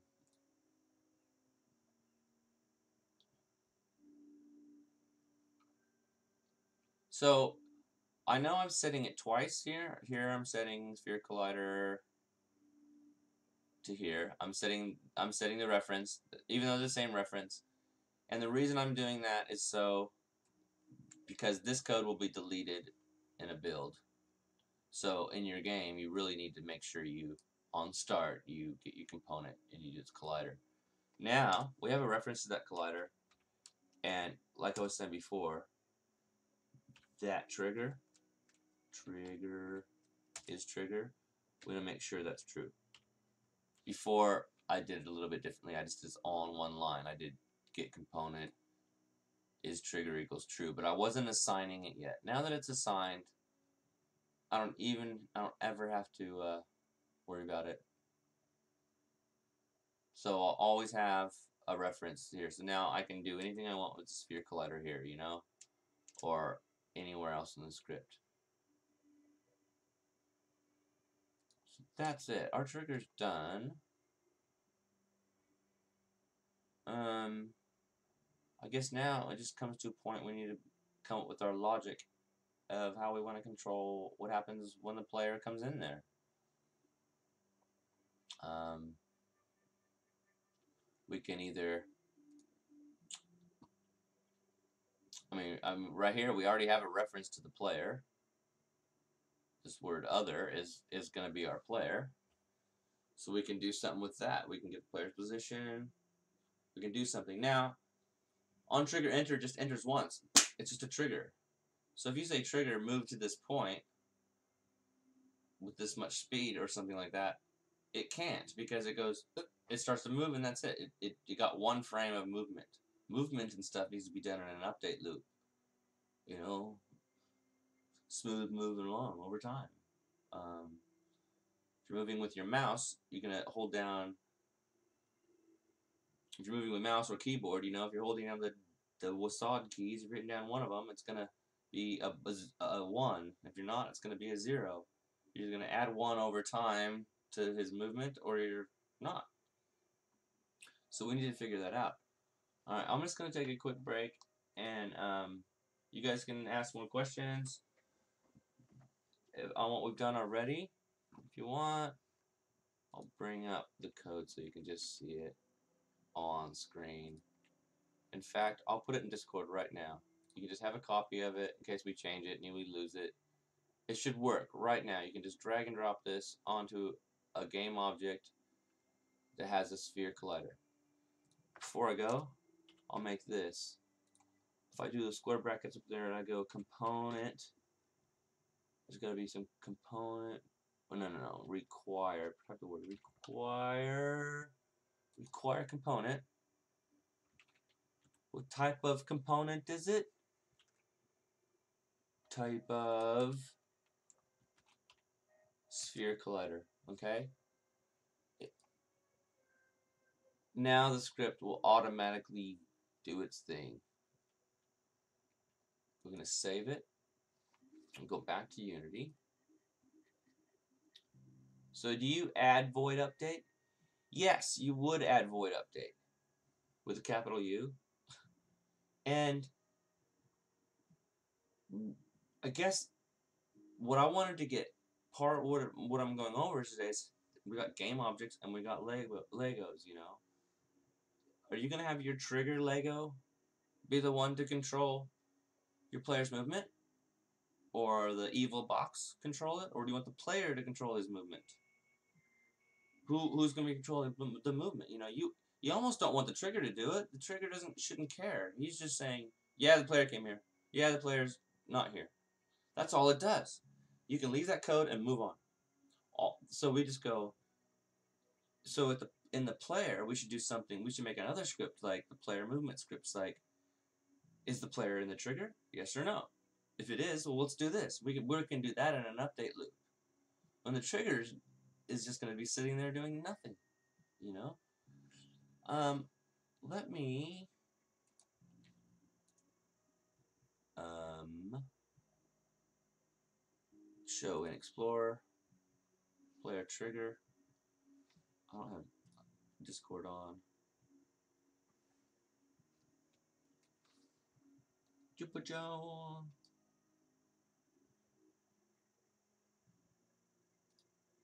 There, I just uploaded the, um, I'll just drag that into Discord if you want a copy of it for yourself for reference, you know, just, I love having references that just work in the most simple, basic way.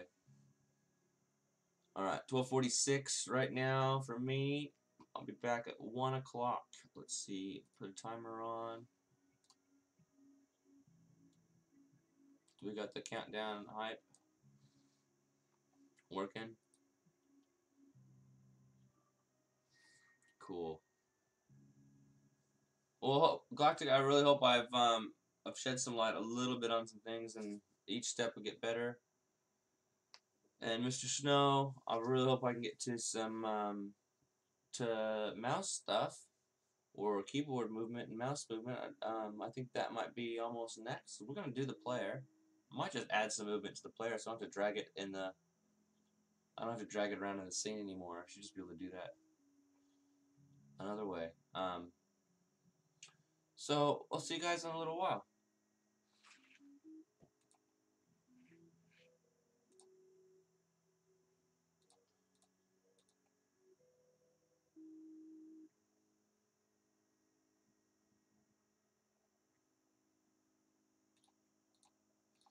How come I don't the um the red thing's not on no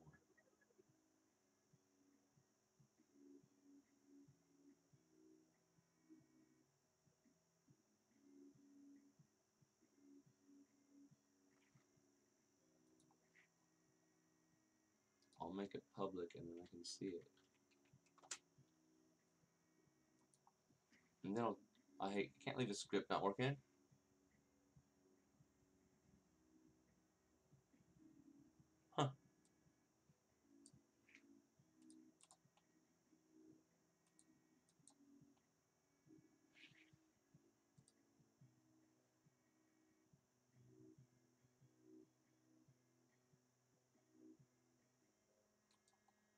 I mean, it's definitely, it's definitely no. It's trying to get this, and it's still no.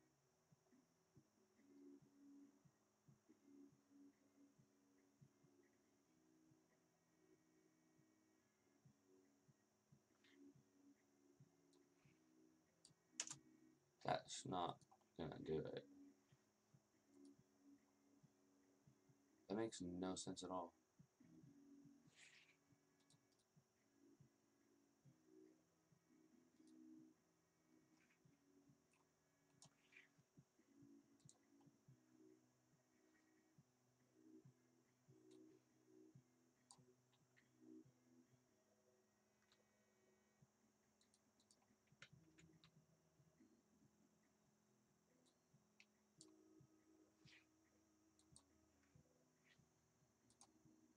Work that way, but it didn't work that way.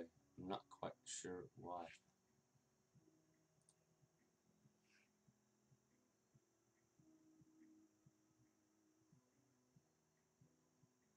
Yeah, I'm just leaving it that way.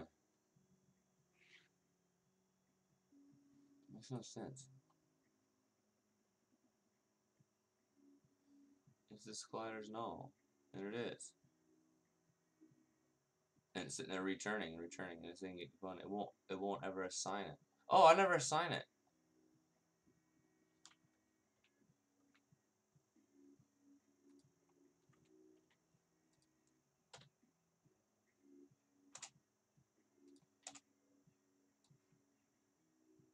What an idiot.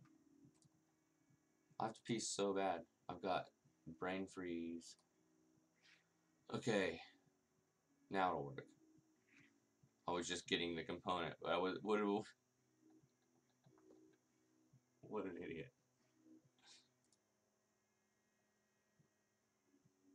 There, now now it automatically assigned in editor. Yeah, cool. That's what I wanted. Okay.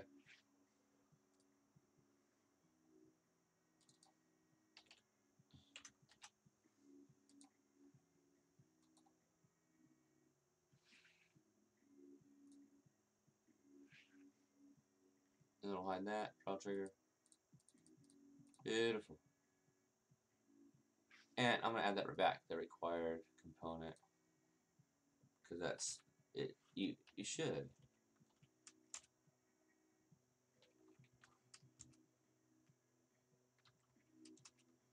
Done. Retest.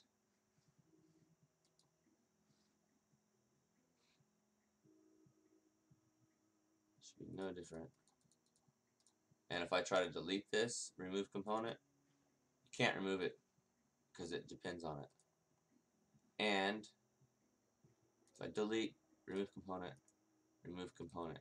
If I add a player trigger, it'll automatically add the sphere collider for me. And that's what um that's what adding this attribute up here does. Attribute. Alright, that's good for break.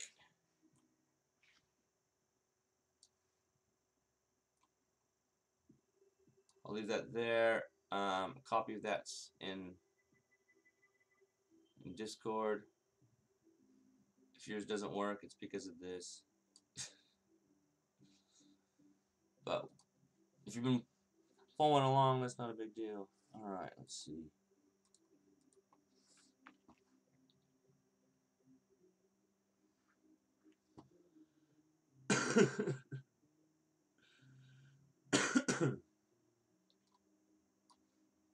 Alright, see you guys in a little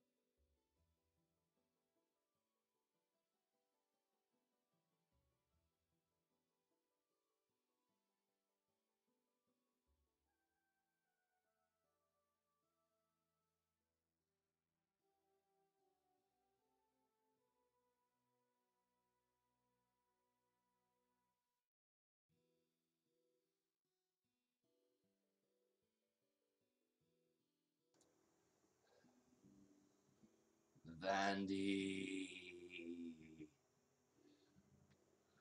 How you going? To see ya. Can't open this big bag of candy. Speaking of which, I bought two big bags last night. M&M's peanut M&M's giant bag was on special, and so was uh, what else did I get? Got something for Kendra. Sour Patch Kids. I'm doing good. I'm doing good. It's totally true. Honey Bunny's my girlfriend, if you guys didn't know. And we're trying to think of a better name for her, like Skyway Interactive 2 or something a little bit more professional. We haven't come up with a great idea yet. No pet names. That's all I reckon.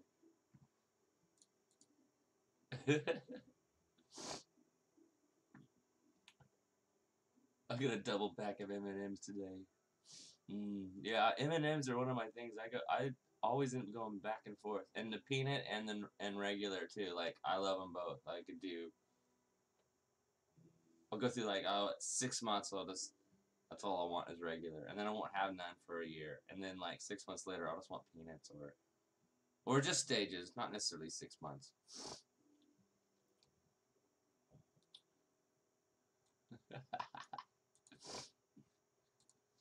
So what we've been doing so far, we've just kind of um, uh, Galactic Vienna and a few other people in Discord have been trying to get their head around different coding up different uh, you know elements in, in Unity and and I just felt like really what was missing was the there was a few just like those core elements that needed to be I wanted to show a bunch of little tricks in Unity and how to write basic code properly and just get your head around it. Because once you get your head around it,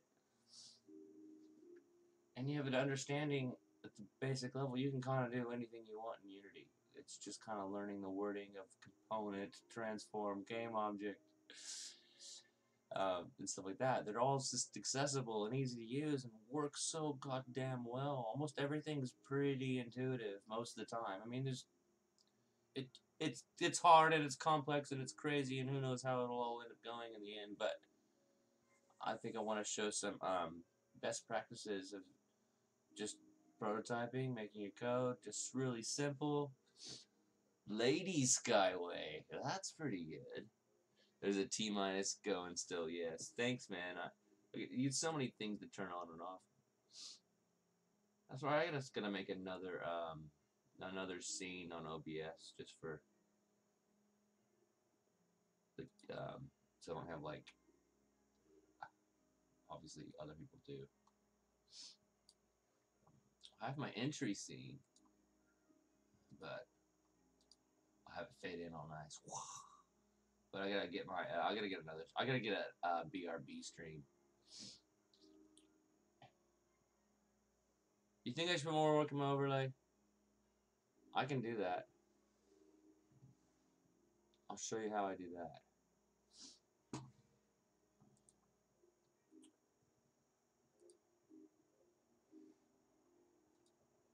How do I do that again?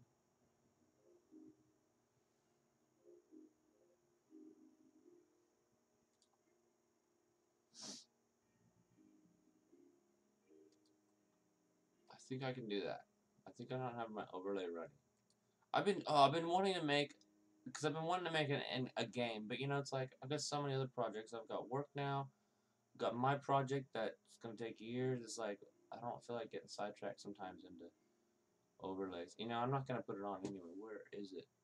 It's here. That's what we're looking at. It. It's called like Twitch Chat Supreme or something.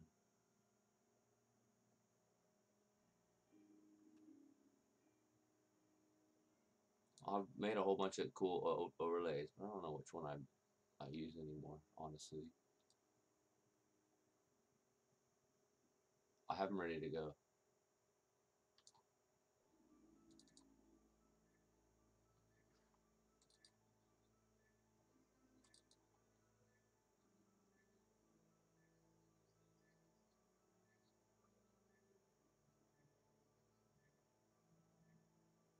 Yeah, there's that one. I'll have to um, resize my. Oh, that's not too bad. I can just move that up to there. This is one of the overlays I made in Unity. That way I got little sparkles going on it. But then I've got to do something else. But I gotta do I gotta do something else to make it um see through. Which is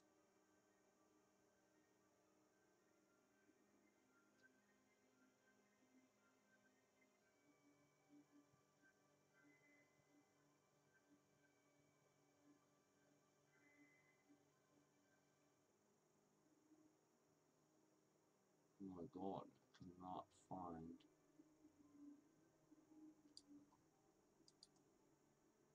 It's not that.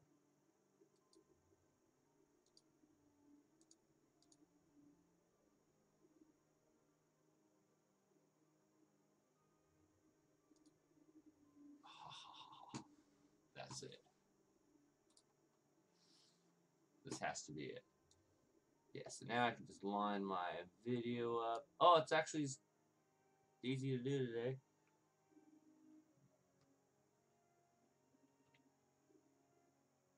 That'll work, and then line that up. And that's there. There you go, Vandy. That's about the, the far as I've gotten on my, um...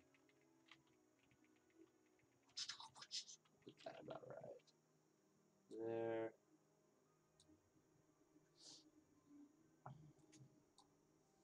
There we go. I've got um I've got the color of the outline changing with um date time now milliseconds. I use that variable to change and lerp the time. So I could have multiple elements and multiple programs running and they'd all be synced in in the color as long as I had my my color lerping function the same because the value would always be um, with date time now. It was a cool thing that, I figured out. There we go. Hopefully I won't take too much away from the Unity part. Let's see if it does. Yeah, I told you how I got some overlays. Oh, what what I've been thinking about for a game is like, like when someone comes in, you know, instead of collecting points like Revlo does, Revlo bot, and, and stuff like that, you're gonna get um, you'll get like fuel for your missile or explosive power for your missile, and maybe like right by the um, here I'll put my mouse there, like right here, kind of like on this side, you'll have um, some missiles with your name on it, and they'll like you can't fire them all the time, but over time they'll you'll they'll get ready, and as more time goes on, like you can you can um, it'll kind of power itself up. And then when you want to in chat, you can fire it and you can try to get more points. Or maybe destroy someone else's points or something like that. I think it'd be great. So you just got like little missile. That way the chat's not too crazy. Because some games, you know, you, chat games are just like totally insane. You know, like just um, just go off. You know, you, you, it's not even it's not even good to have on your channel because it's it's just insane. No one can talk. But I think that'd be a good one. Um, just when you come in, first time you talk, it'll load your missile, or you maybe you have to come in and say missile load or something like that, and then um, it'll sit there and just kind of gain its. It'll have like maybe a, maybe a loading time or something like that, or give it some values of maybe fuel. yeah, fuel might be good because the longer that way it can like stay out longer and try to hit things, and maybe it'll it'll try to hit hit other players. I think that's great. Or maybe just it'll maybe hit power ups of some kind. There'll be like some power ups on the screen just randomly, and if it happens to hit them, some will be pluses for you, but some might be negatives for other players. Whoever's well, whoever's playing the missile game. You know what I mean? I think that might be cool. I won't make it too harsh on so people can't get picked on, but who knows? That might be fun, something like that. Yeah, flood and chat gets crazy with just some games. You've got to have it uh, give you limited things like fire and load or something like that, you know. And that's about all you can do. But I think like like the more you chat or the more certain things happen or uh, just do it by points, you know. And I can always give out points to other people. The mods can, so it's cool. Be- uh, Just something, just something semi-interactive, not to take, not to take away from the the stream, but to add more to it on top of it, like just to keep the mind busy, you know. Unless your phone's in your hand and you're playing Candy Crush.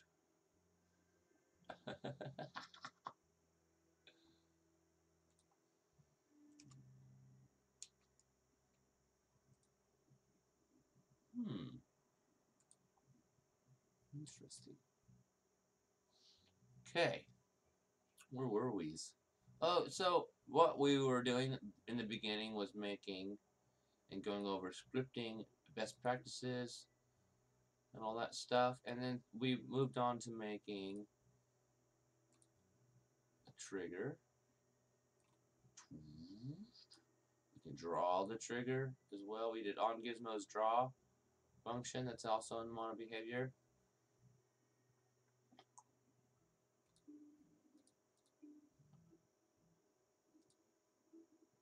That's cool. You can hide the sphere colliders like that, and every sphere collider in the entire your entire project will also do the same thing. So if you don't want to see them, because if you're drawing them already, sometimes you don't want to draw it again.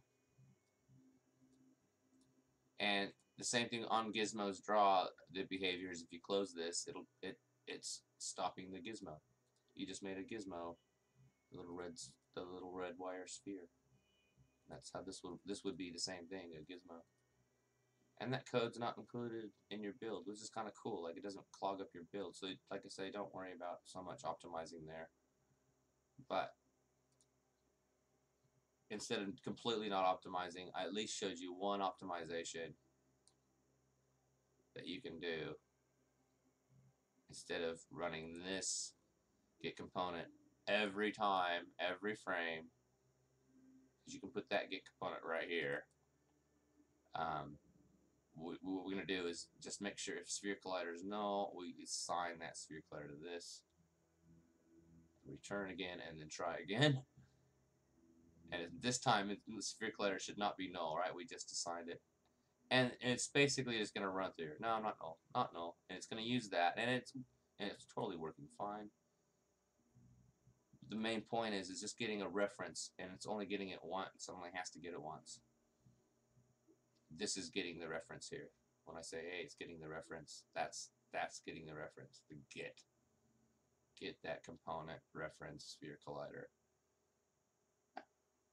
And it's on our game object. It's on our transform. The script is. So we don't have to say, you can't say transform. This, this is just what we were covering, you know? You can't say transform get component. It's the same thing. It's transform means this transform. This transform right here, my mouse is hovering over. And I'm on player trigger, that's this component. Alright, player trigger. So if I say player trigger transform, transform, yeah, get component, sphere collider. I don't need to do that. I could just say get sphere collider. I could also say player trigger transform game object, which is actually this. Think of that as game object. I think of this as transform and all the components. This to me is game object, like the little thing here. I don't know why in my mind, because when you want to, when you want to deactivate a game object, you have to do it here. This is game object set active, and this is enabled equals true and false. There is no set active here. So that's just so you know that. Just more terminology. This is what I wanted to go over. This this basic terminology. Terminology. Because it's another language. So what I'm saying is you don't have to put this transform here, right? You do have to put position. Because position doesn't know anything, you know, but you do have to put transform dot position because that's what I want. I want a position. It's a, it's a vector 3. But here, transform get component. You know, we can always call get component from anything. That's what's kind of nice. Um, if you have another game object you're referencing in some other script, you can put that other game object reference here, and you can tell him to game. You know, you can be referencing another script to get their components. It doesn't have to be. This get component is also, also obviously relative to just this game object. Okay, into that one, into that part. You can also say this game object dot transform dot game object game object dot well I can't do two dots. You, you, is what I'm saying. I just want you to make sure there's so many ways to reference it but it's understanding in your head all what you need to do. Just thinking about it clearly stepping back going instead of just keep trying stuff and trying stuff you know it's it's better to spend time five minutes in the bathroom or the shower or wherever away from coding some just to get your head around it like because it's not that hard. It's just lego pieces just all i want you to keep telling yourself that. It's this lego piece and i'm going to give it some behavior and it, this lego piece is behavior. It's up to you of how to organize that you know? And that's what we're going to move that's where our next part is at. That's where our next step is at. This so here's here's what this code says. This transform game object get component sphere collider. So player trigger. This I just wanted to make sure this is clear. This means the player trigger. This is player trigger. So this also includes all those things that this has, which is player trigger. This game object, right, this thing here, Oh, I should. I wish that would stay up on top. Um, this game object. No, sorry. This transform game object get component sphere collider. It's the same thing, but I got to get there a long ways, don't I? But you you you get the point. Mono behavior. Get component. Right. I mean that's obviously better than what I was doing before, but here I'm only going to do that get component even once. I'm actually making actually have a reference. It's almost like I made another sphere collider here. But it's empty. It's just got a little slot ready to go for a sphere collider, ready to go. It's it is private by default. Um, it's gonna say, hey, I don't need to put. It's redundant putting private because it's already private. So there you go. Okay, and you can name that anything you want to remember itself. Like if you want it to be the player trigger collider or something just to make sure that you don't you know what it is. So our next step, what our next step will be before I look back at the chat. Is it protect? No, it's, I think it's. Oh, well, thank you, Vandy, um, for saying that was protected by default. I will. I'll look into that, or send me a link because I don't want to look at that right now.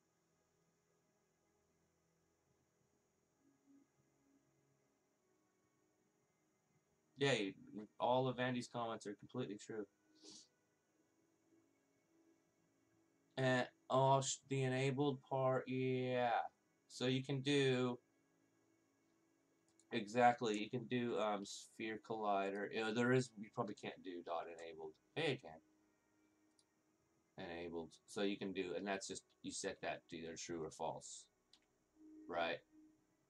And that's per component, and that is that that is referring to this toggle button here.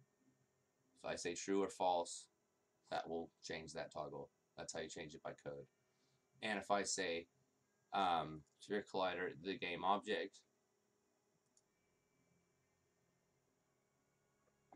I can't do that. It, is, it doesn't allow me to do true because there's a separate function for that. It's kind of nice so you can just go dot. It's set active is the one you want to use and then you can just put in true. So they're using a method to set it all up, but I, I don't know, it, it doesn't matter, but that way you know that is the difference. And then obviously you can do false as well, it doesn't matter, it's a boolean, it takes either either one. And then, um, because our script, this sphere collider, this game object is the same as, as this player trigger script, we don't actually need that. It doesn't matter. It's a double, you know what I mean? We can still use just game object set active false if you wanted to. Well, if you're here. You can't say set active is false. You can say enabled equals false. So that would turn this off. If on start, like enabled would go and turn off your script right away. and then nothing would run. But sometimes um, that's a trick you do or a thing you do on start. So you set all your variables up like in awake. Awake runs just before um, start does. And it runs only once as well. So awake, you can set up a whole bunch. Of, I like to set my variables up in here, or in start. I do, depending on on the reasons why. I'm not going to go into that now, but um, and then actually do enable it to false, and then it's just sitting there. It's like you've loaded the script up, you've loaded your variables. Maybe you've looked in the scene to grab all your game objects that you needed to. Like when you do things on start and awake, you, you don't want it to be extremely heavy, but that's where you're doing a lot of your um, setting up and your initializing or whatever they call it. You know, it's just you're setting up. Like, I need all these things in my game. I need to make sure my collider is true. I need to make sure I have all my references, like my reference to the collider and stuff like that. And then sometimes you'll just turn it off because you don't need it. It's not part of the game right at that point, you know what I mean? And then you have like maybe a manager script that turns it on later for whatever reason because you get close to it or or whatever. But it's there loaded you know it's kind of like that's kind of that some people do that or I may have to do that and it's it's just something you can or cannot do just a, another um, trick or tool. Let us go to chill just give me a second here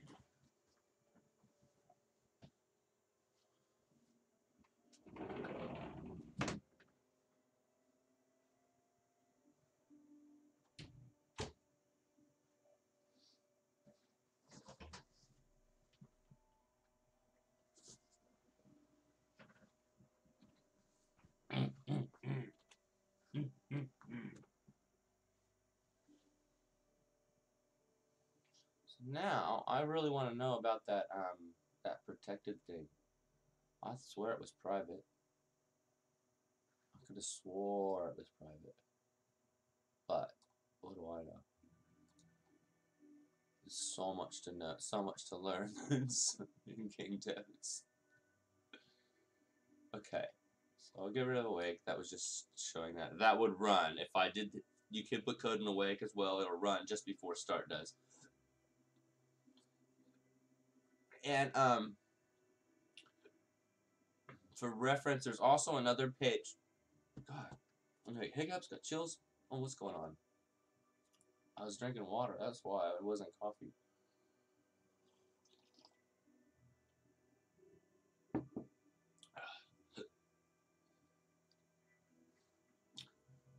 Um, what was I gonna do next? I had a great idea next to do, and I can't think of what I was gonna do. So that all is just done. Right? We only have two variables we have in the whole script. Just draw trigger or not, that's kind of what we for. I usually like this for gizmos only, just something like myself. Okay.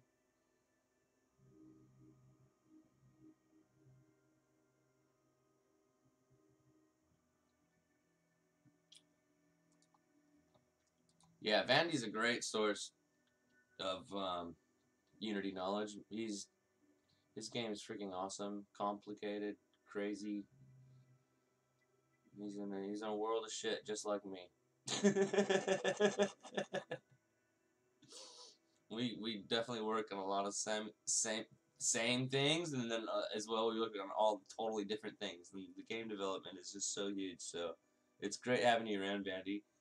Man, I think one time I was coding something up, and I think you saved me like freaking hours. Just like, no, just reference that. Like, oh yeah. I'm sub-referencing things, doing like this dot transform dot game object or you know like it was that that equivalent of that of that encoding.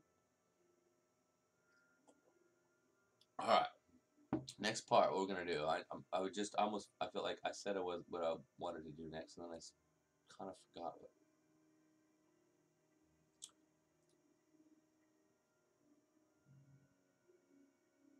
It's more about the code interaction is what I wanted to show next. And I was thinking about it. So, what galactic? Tell me if I'm right. So we're gonna make this cube move toward the player when he is inside of the trigger. Is that what we're gonna do?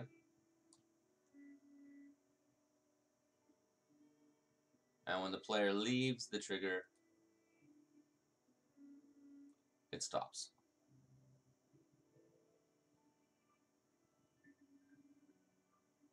Is that what we were gonna do?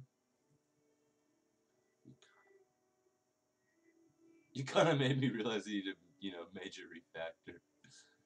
Yeah, it's almost it's hard to do that sometimes. It's it's good, but if I give you that feeling, that's good because it makes you it's making you rethink and cleaner, tighter little componentry, and it's the only way. It's the only way to get through it, man. There's just so much. I feel like I have a simple game, you know, and it's you know, you have like four or five mechanics, then all of a sudden it just seems like it becomes a thousand times more complicated. But it's, isn't it? It's just all tiny little things. Like rigid body, we don't care about. We know how to interact with it, and we know what we do and what its limits and whatever it is, and you can do a lot by checking one or two of these little boxes. You know what I mean? And that's why I try to set my scripts up, the biggest ones like this, or however each little component is. That's how I try to look at it. I got a yes from Galactic. Okay, cool. Okay, so if then I just wanted to make sure I was on the right thinking. So here's what I'm thinking, right?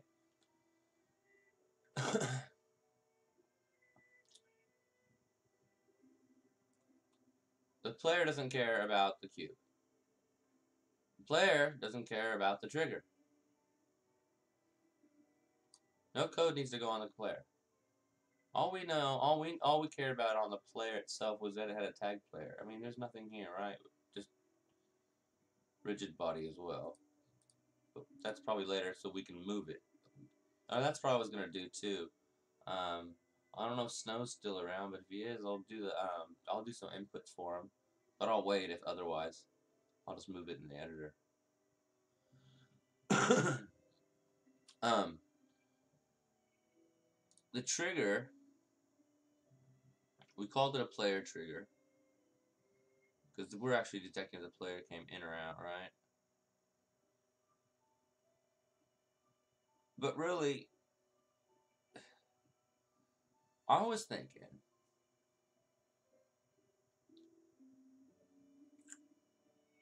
that I'm thinking that the evil cube I mean, look how evil it's looking.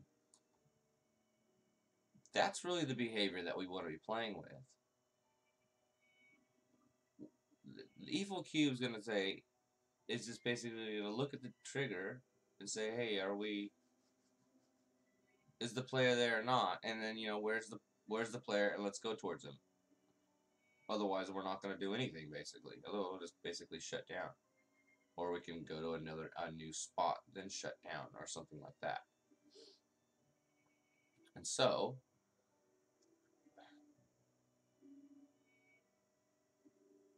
if this trigger's only use is for that it's really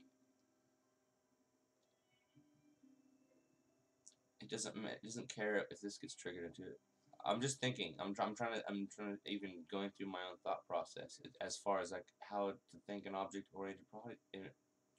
How to think in object-oriented programming. Think in objects. Don't make it.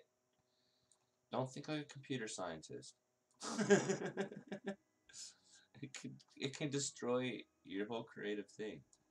When you think it through like it is in real life, then it then it's different. It's almost like what I, I think what I'm feeling like. This shouldn't even be called the player trigger. It should be called the evil, the evil cube, evil cube zone. You know. Here's what I mean.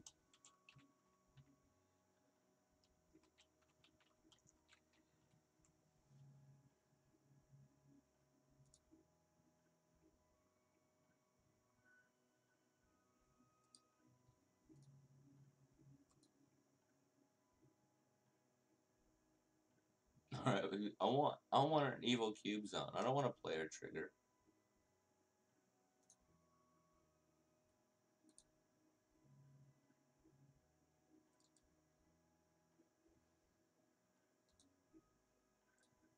Control A, control copy.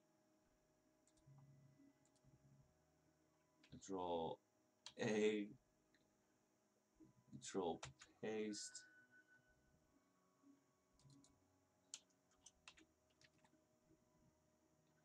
Evil cube zone. Okay. That's what I'm talking about. We'll save that.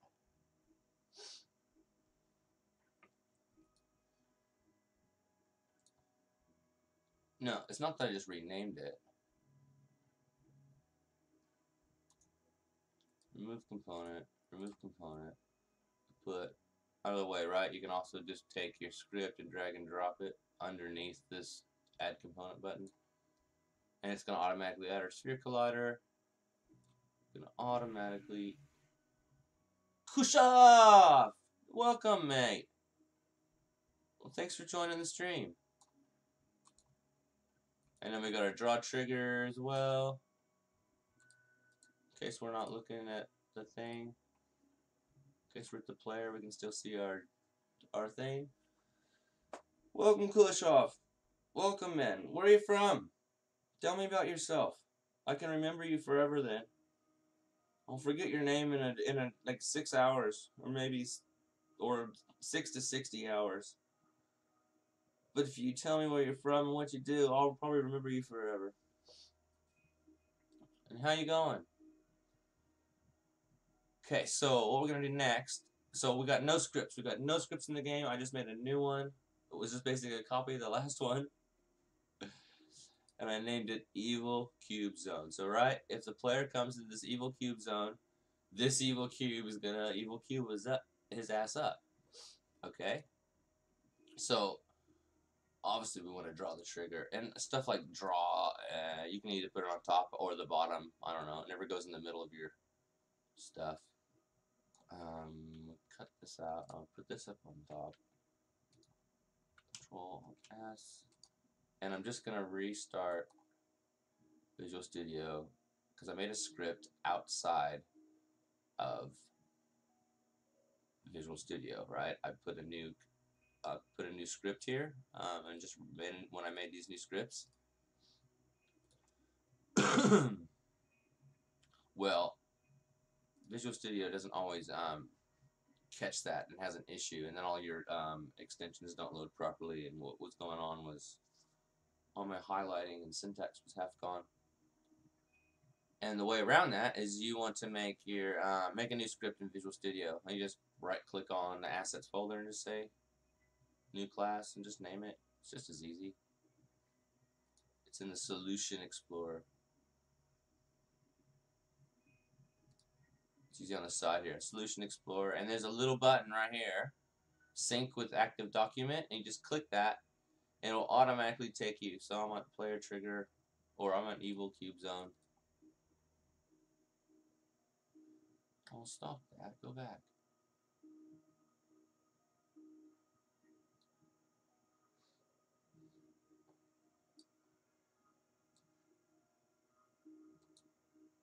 My fault. I double clicked it. You just... What did I just do?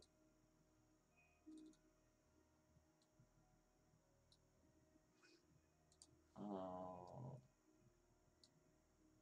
You know you can do all sorts of stuff. You can like put, them, put two scripts up at once and stuff too. Sometimes you can put them on the bottom. Depends what um what if you what add-ons you have and what day it is and like like what lunar cycle. Like I don't know. Some of those things work some days and don't others. Damn you! I want you to be here. What's about this? Is this I gotta put here? Oh yeah, docket. The middle one, right? Yeah. Sorry, that was me not knowing how to do it. Just learned. Alright, we're good now. Sorry for that. So player trigger was exactly the same as Evil Cube Zone, but I'm renaming it. I'm leaving player trigger. It's now obsolete. I'm going to Evil Cube Zone because really we want we want to have this cube. That's that's what we're controlling with this trigger, right? So let's make this thing like the thing we're doing. So um, all we either all we need is really the transform. We can get the game object or the transform, but we do public. Um, we'll just do game object for now. It's just as easy. Evil cube. Alright. If we make it public, we can just drag and drop it in at this point. And I think that's a good and easy way to do it. So on the trigger, we've got an evil cube area now for game objects, you know. We'll say, oh yeah, we're going to do the evil cube. We could also, you know, there's other ways to get it, to reference it, but let's just, for fun, we'll just do that for now.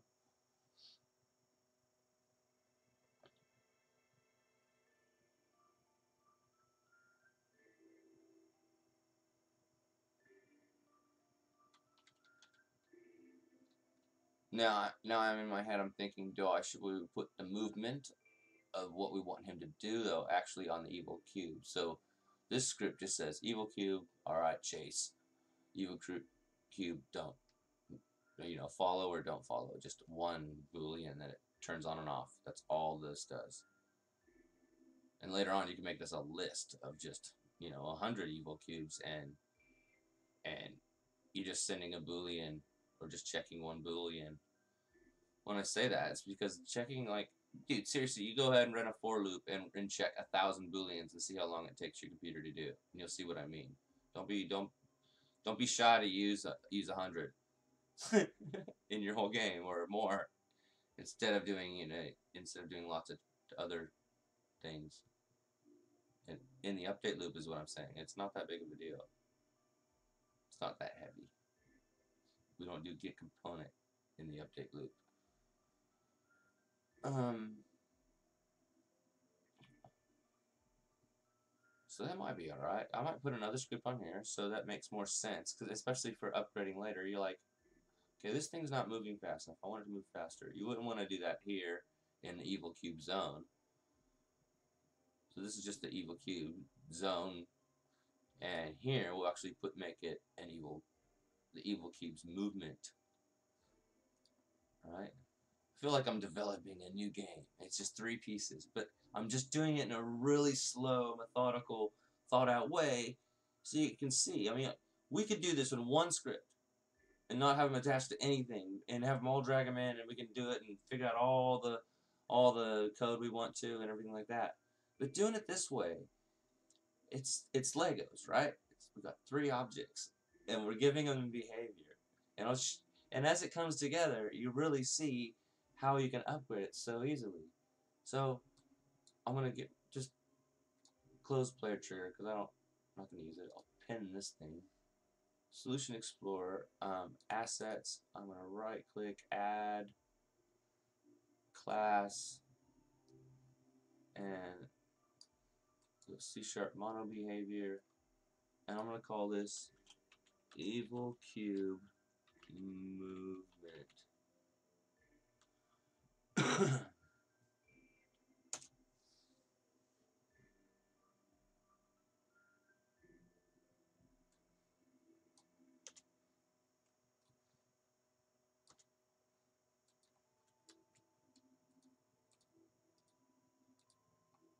Alright, so we're going to move towards the player. So we want a reference to the player. We can send that over. So we can have it private. We don't need to have it public. But I'll, I'll do. I like to do things public as I'm prototyping because you just you just looking around and you don't have to worry about that. Um, public game object player.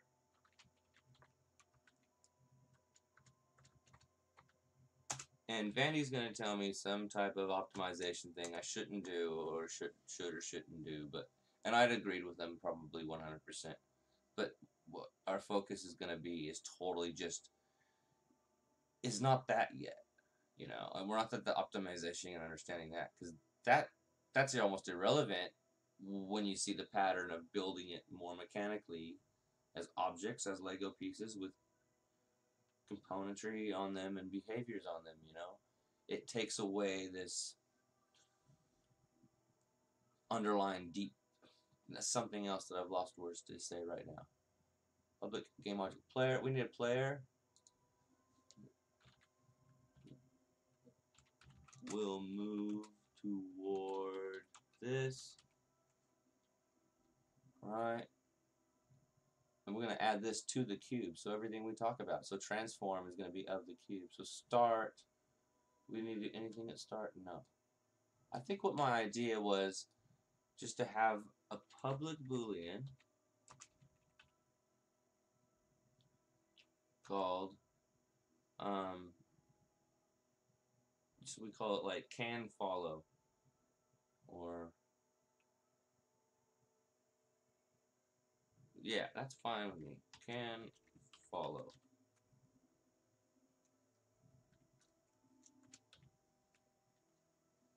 Okay. And there'll be something in here like if can follow. Oops, if, if, if can follow. We're going to do something. Right? And we'll figure that out in a second.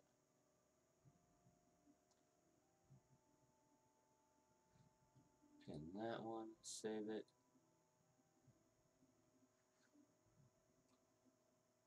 Um, so all we here we were doing is just drawing something. Since that's for gizmos only, I'll just stick it down here with the gizmos. And we can also surround it with a region. Um, I usually just select the area I want to do and then surround with region, just say gizmos.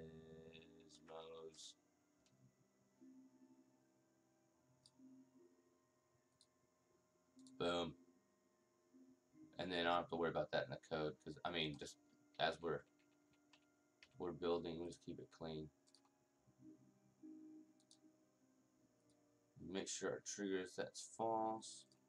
Another couple things I want to do for our, our sphere is just give it a default value on start, just in case something's got messed up.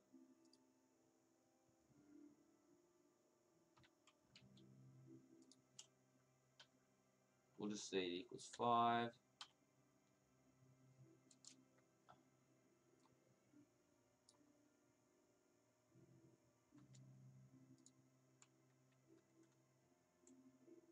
Alright, here's where I think all we needed to do is so in the code I'm going to have evil cube. Let me go put the scripts back on there and then I'll come back here because I don't want to get too far out. Even if you're following me totally 100%, I'm just going to make sure everything's right. So I've made that new script. It's down here now. And Visual Studio didn't give me an issue. Just when you make new scripts in Visual, oh, I can turn that thing off. I've been not doing those. I, I don't have enough RAM to do all this stuff economically. Too many overlays. Um, so Evil Cube's going to get Evil Cube movement, does it not? You can even drag it right to the Evil Cube, or you can drag it under the Add Component. drag it here. Same thing, right? Evil cube movement and the trigger. Oh, it's looking for an evil cube. That's right. I signed that already. Same one. So this way we don't have to go find it or nothing. We'll stick the. Call this the evil trigger now because this is really triggers and colliders, rigid bodies and stuff like that, you do not want to have them like underneath other parents of things that would move atop. Always try to keep them at the top level. Um, like, and if you have a rigid body, you can't put another rigid body underneath it unless you're doing a joints. You have to set the joints up properly. Just so you know, like, I would never put the cube and the trigger together in any form. Which should make sense, right? In real life, you, they'd be totally separate, like Lego pieces. We made an invisible trigger game object. Just some code on it to control the cube. The cube is going to have some movement. Just go see how fast it goes. And it's got a can follow toggle. We can also have it public, and so we can turn this on and off without having to worry about the trigger. It's part of like half of it, half of this. I think I'm showing you a little little bit of um, some debugging tricks how to code faster and not code faster, how to develop faster. You know, and more and more cleaner. Um,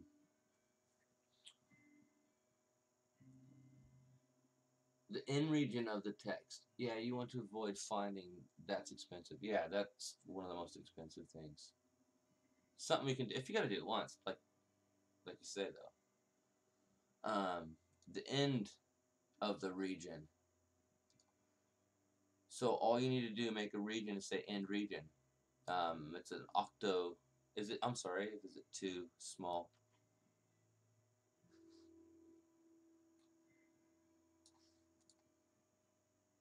You can also put the same word there in region. Gizmos.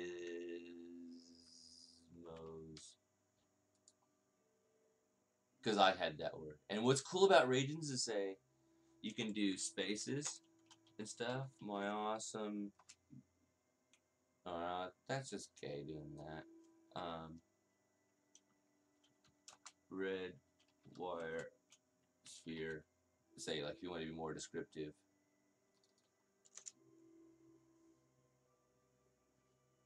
So when you close it, you just kind of know in your code. You're like, oh, that's you know, I don't have to worry about that. My my code has nothing to do with that. It's just looking. It's just you, you know what it does. It's just getting a color and a radius, and we put a bunch of checks in there so it didn't get null references as exceptions in the editor. You know. I'll give you this code all at the end, dude. All you guys in the in the Discord if you want. Which um probably haven't posted that in a while. I'll throw that. I'll throw that in the Discord. Oh wait, that's not the thing to put it on. Over here. That ain't it either. I just put copy paste and it was like pasted in a whole bunch of code from like that whole script.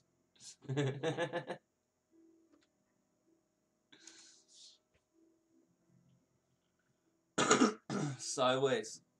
I need a side question. What is a proper data type to save a 2D grid, like a, like an infinite XY spreadsheet? A 2D grid, just not like a vector two. I mean, I mean, like, is that not what you're saying, or you? And then do a list of vector twos, like something like that. Is that weird? Is that is this? I mean, is that the direction you're talking? I'm, I'm not quite clear. Please expand.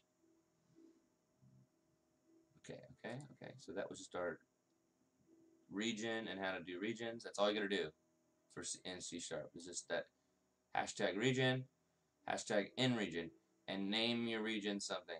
That's all you gotta do. It will not be included in your code either. It, it comes out during compile time or whatever time. Okay. Start, we set up our variables, just, just set, I'm just gonna write that up here, you know, set, set some, actually, you know what I usually say? Ensure defaults.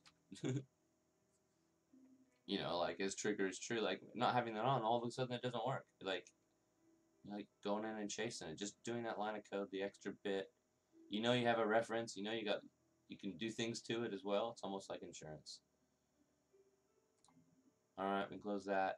So, so what happens is the player comes in. We know this works. It prints the player's name only when the player comes in. So we do something silly, stupid like um, evil cube.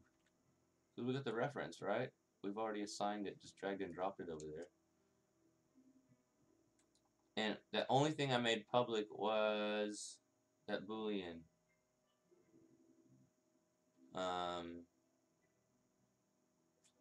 oh, but you know what?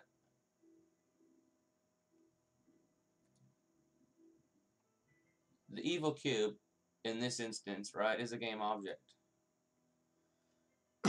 so I can either so I want what I want to get is that movement script of it. I want to tell the movement script, hey, you can go ahead and follow now. Can follow is true. That's what I want to do. I want to say evil cube dot can follow equals true. Okay, that's what I want to say. And then I want to say down here, I'm going to copy that. Obviously, I want to say this, paste. Um, false. This is on exit. Once we've exited, we want to, the evil cube, we want, we can't do that, obviously, because I'm saying game object. Evil cube is a game object. Obviously, you can. I can do, like, game object transform. I can get the transform. I don't want to do that either. I want can follow.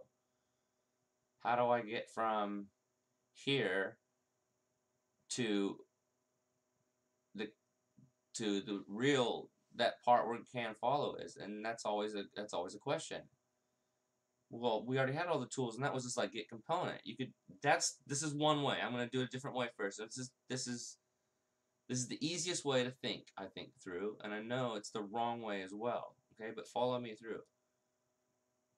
So that you understand the referencing. So, get component,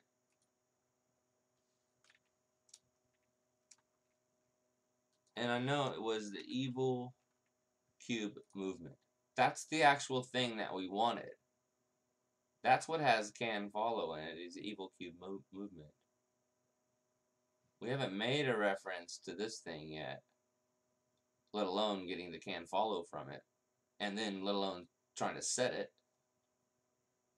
Um, well, but we know that'll be right. This will work. That is without a doubt. And you know what? For the scope of this, the performance will not even in a even in a AAA game this would not be that big of a performance issue. Unless you had hundreds of cubes and hundreds of triggers. This only fires once. Only when you enter. That's it. Doesn't do anything else. It just sits here. This code doesn't just sit here and just tick over hundreds of times you know? And even if it did even if a hundred things came in there it's only going to run if it's the player that went into there anyway. So what I'm saying is that, yeah, this is going to go, it's to, it's going to do that every time. So you can change that reference really earlier and make it easier on yourself as well. You can just do like this, copy evil cube movement, right? I want, instead of a game object, you can just do evil cube movement. You've made that now. That's what you want. You know this evil cube movement is going to have to have, that's this script. It's got a mono behavior. It'll have a game object.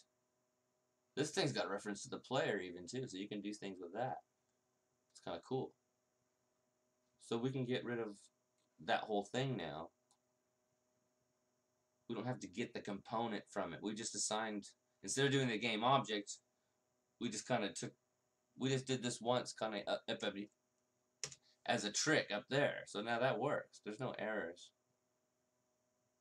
And there's no errors down here. That's not red anymore. And I just all I did is I changed that word from game object to evil cube movement. Right? Did that make sense? Did I lose anybody? Okay. Let's test it. There's no movement yet, but we got can follow. We should be able to see if that moves. And what I can do, I want to look at more than one thing. I can just come up to this little lock bar and lock the inspector. So now when I click on something else, say like the player, and I move the player, you notice the transform's not moving. It's actually still the evil cube thing. It won't, it's been locked. And then we can also add another inspector and bring that skinny side by side. so on the right, I'll keep the cube. Alright, these are identical right now, but I've locked the right one, and the left one, um, I'll just have it so I can move around. Now, back to our evil trigger. The evil cube zone, I should say. We changed that reference. Evil cube used to be a game object. Now it's uh, um it's looking for an evil evil cube move movement. Well, you know that's that's here on our evil cube, which is also sitting over here. There's only one of them in the scene. Look, it's gonna it's gonna find it if you click on that little finder button too. If you only had one, could be hundreds, but it makes your life easy. You can you could assign it that way. You can assign it by dragging and dropping the game object. That's what's so cool. The game object will work too, right? Just delete it. Still, that component's on there. If you put transform, you can put anything as long as, as long as it's here.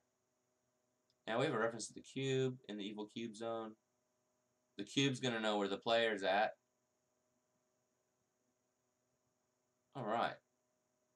Um, the evil cube, he needs to know where the player's at. Here's the player.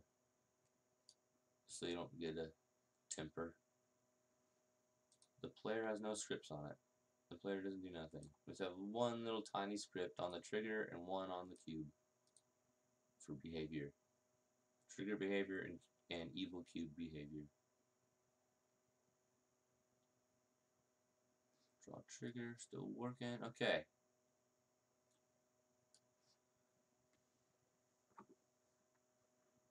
Unity does a get component evil cube move movement in the back for you. That's right. Oh, I'm so glad you said that, Galactic. I didn't want my my time spent on deaf ears. Sometimes it's slow, but it's I am I am being slow and redundant, but I needed that when I from like day one. It's like I feel like I, I could go so much faster if I would have had the um certain things told to me from day one. Just I don't know. It's like I missed that day in the class or something.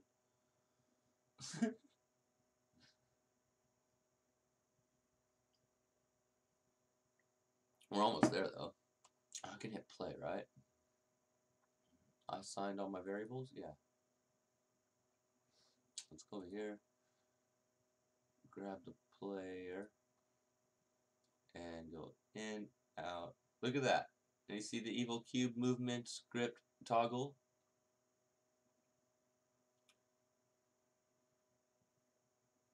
And it's sexy.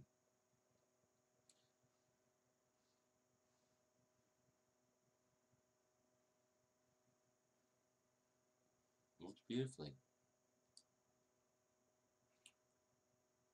That's what we want. That's what we want is these tiny little machines. And that's kind of like, I swear, this is how like games are built. It's just that little tiny bit. And then you just build, build, build, build, polish each little tiny system on top. Can follow. Oh, we want to do something you can follow, huh? We know can follow works. We, this is working perfect we already have it. We know where the player's at. Um, we probably want to do a couple things to look at the player. So we got to we got to reference the player, and we got reference to the ourselves because we're the cube. All right. So what what what do we want to do to move there? What kind of movement? What we're using that vector three move towards. I've never used that. I'm trying to trying to think really quick. So we can just do we can just get a vector to the player. Turn ourselves to look at that and move forward. How about that? So we'll just make it work and then we can worry about optimization and anything like that later or talk about why we would change something because I think that's the best too. Um, if so, if I can follow, I want to um, I want to look at the player. So how am I going to get the player? I want to get a vector 3. Um, want, this is the direction to the player. Is equal to um, the target's going to be the player. So it's transform position. This is my position. This is the cube's position. Minus the player, which is what? What's the player? Player is a game object in this content, right? I could have put transform there to make my life easier. Because I don't really, it doesn't matter. I can just do dot transform. If you have a transform or a game object, it doesn't matter. You can kind of go back and forth easy. If you got a transform, you can say dot game object. If you got a game object like player, you can say dot transform, depending on which one you want to use. For whatever reason, that's just how you get around. It makes it easy. Because I can go back to it, right? I can say game object again. um, and we want its position as well, right? So that gave us a vector. And the only thing I ever do wrong is I swap these two terms around. I do it all the time. But basically, it's an arrow. Like, this is the tail and this is the arrow. And in the end, now we have a direction vector. This is not like a point vector, like just a place in space anymore. Like a XYZ coordinates. It's it's a it actually has it's like a direction thing. So we're gonna use that. Um we also gonna need something else. Hell, I play Unity videos at 0.25 speed. slow. I ended just having to. I just ended watching it and pausing it, or watching it a hundred times. that is one of the. This is this is. This little piece right here is just gold. You're gonna use it a thousand times in game dev. You're never gonna stop using it. That's it. You you have to. That's vector math. You'll see it a billion times. You want a vector from where you're at to where something else is at. Now I can do. Oops. I can do um, some really cool stuff with transform. So the cubes transform, right? Because we're the evil cube and we're, we're talking about its movement. And that's why usually you do all your transform movements there. And the transform has all these really cool things.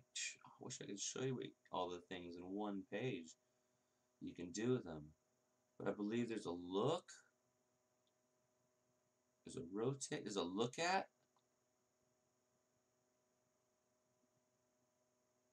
And there's three overloads for it, meaning there's three different versions of the same look at. You can put in a, a transform with a world up that you'd like. You can put in just a world position. Or you can put a world position with also a vector 3 world up. Because you can have vector, your world up could be any direction you want. And you can also have it change over time. You know, if you wanted they'll assume that you have Y up with the position one. We can say look at position. That's just the easiest one to get, right? Or we could do transform target. It makes no difference because it's probably going to get target and then trains it to dot position. Whatever we want. Um, but we want to look at the player, basically, right? So we just put the player in there. And we look at the player's transform, for this one it lets it wants to transform. And that will totally do. There's other ways to do it, but that's kind of that's kind of nice to read though, isn't it? player look at transform, look at the player transform, and it's it just kind of makes sense.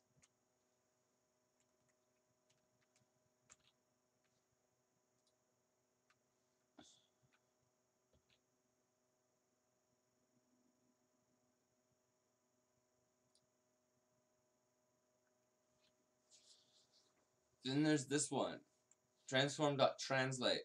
It's great for moving things that are not rigid bodies. Um, you can even move it for rigid bodies. I think they need to be just not. They have to be is kinematic. They can't be that can't be unchecked. It doesn't work well with physics.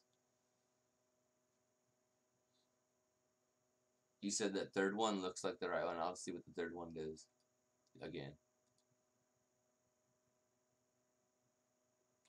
It might not come up until I empty it.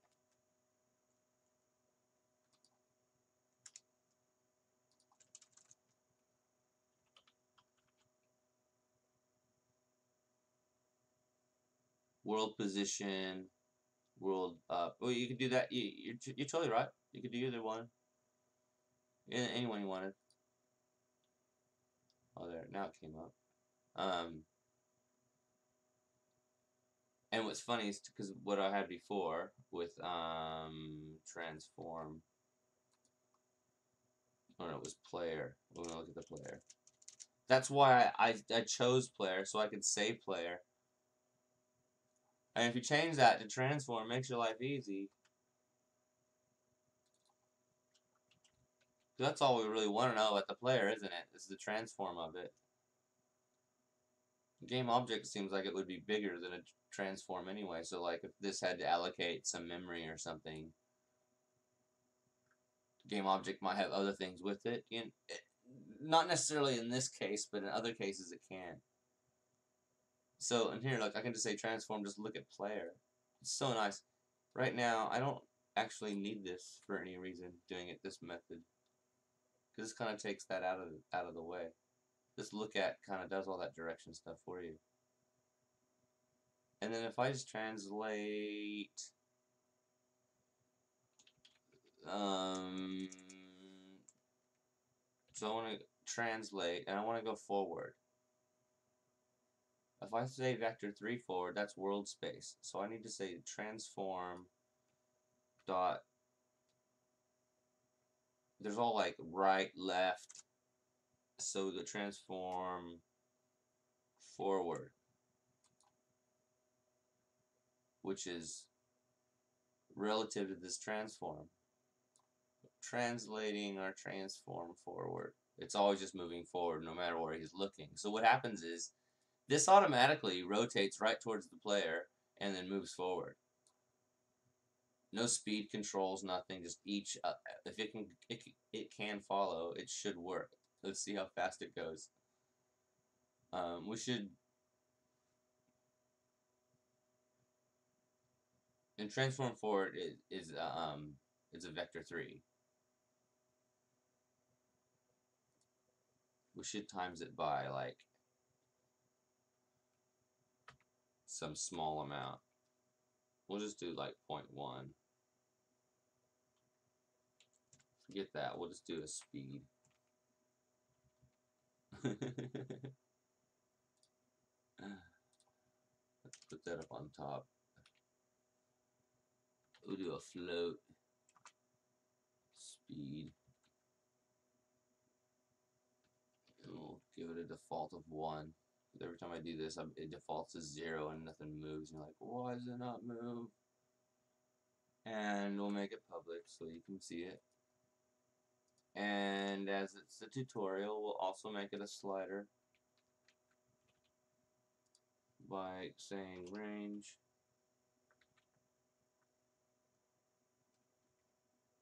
And then the brackets, and then what the range we want it to be. We want the speed to be from like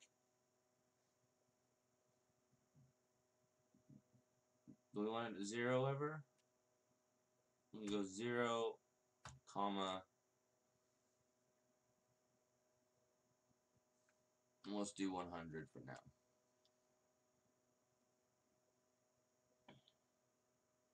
How about 10? so we're going to look at the player, and we are going to translate, transform forward times the speed. So speed is just one value, so it's like say one. So it's gonna it's gonna multiply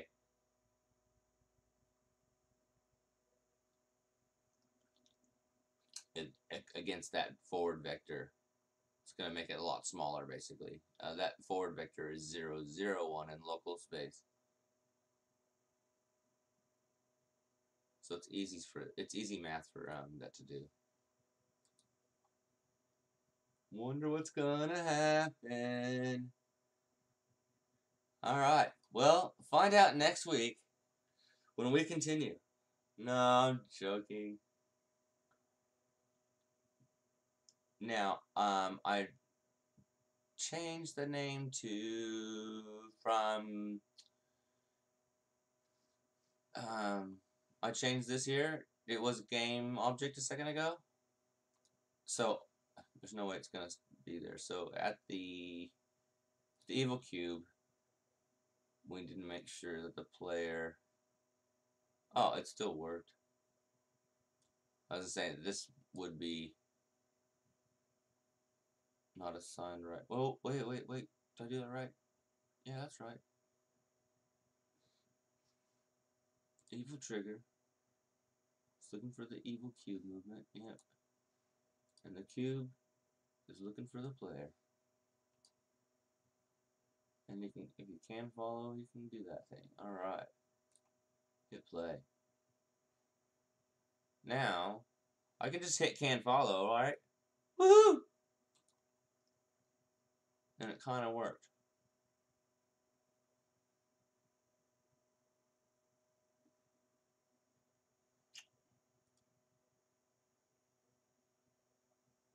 But it still travels forward no matter what.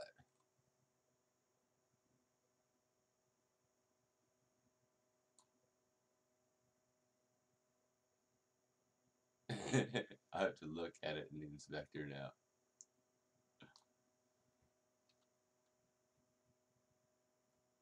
So we get its local axis. Okay, yeah, cool. So Z is always, it's always trying to go towards the player. What? It's moving in a circle. That's awesome. Oh, oh, oh. I know exactly what I think why it's doing what it's doing.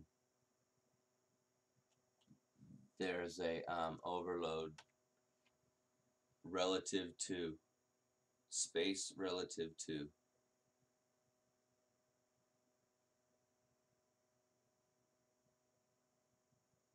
relative to what? Relative to yourself. Just relative to this relative to transform. What happens? This is I wouldn't normally do it this way. I'm experimenting myself. To watch how experimentation happens. Evil cube. Okay, so if I bring in the player, click on the player, and I bring him in, you know, it works. I gotta work on the movement now. But he,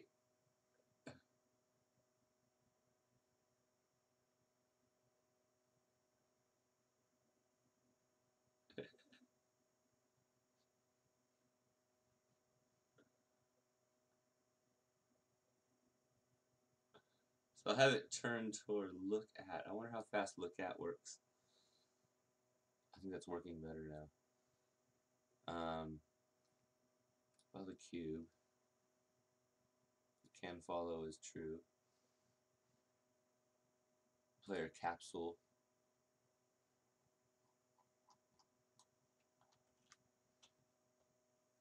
So just those two lines of code are making all that happen. It's looking at and moving forward. So it takes that much time for it to catch up, look at part. It's it's probably not the right behavior, and it kind of works kind of okay. Oh, I probably turned it off.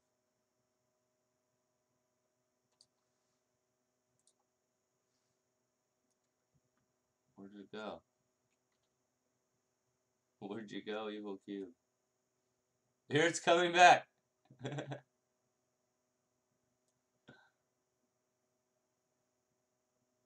it's not the proper behavior, but it's we have to only deal with the cube movement. Our triggers work, our player works, the, the player doesn't care, the evil trigger doesn't care. You know, it controls everything. So, what we could do next in the script is really just, is here. That ain't the right behavior. It's, you know, you can say to yourself, alright, I'm going to come about this another way or whatever, about getting to move towards you. And so, um, that's one way I've done stuff before. Just like have it first rotate it to what you wanted to do, and then just move it forward.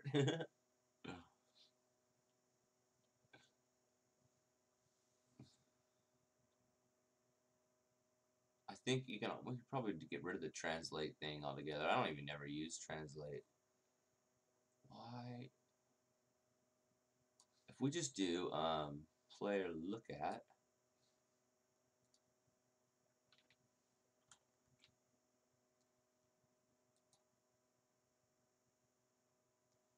see how it reacts.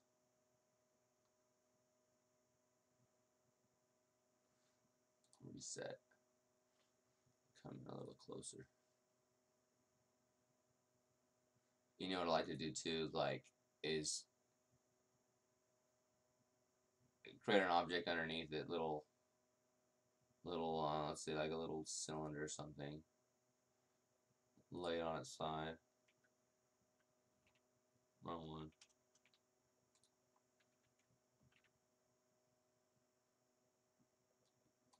Wrong one. Wait, where's my z-axis? Yeah, that's right.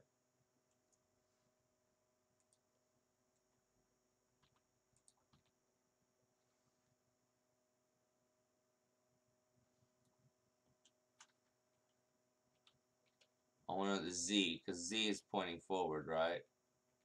Here's a, um, the Z here. And I want this to be 270 then, what is it? Is that right? No, 180? No, zero, what? There. Oh, I've got my scale wrong. Sorry, I'm, I'm messing up. I'm not what I want to do. Point two, point two.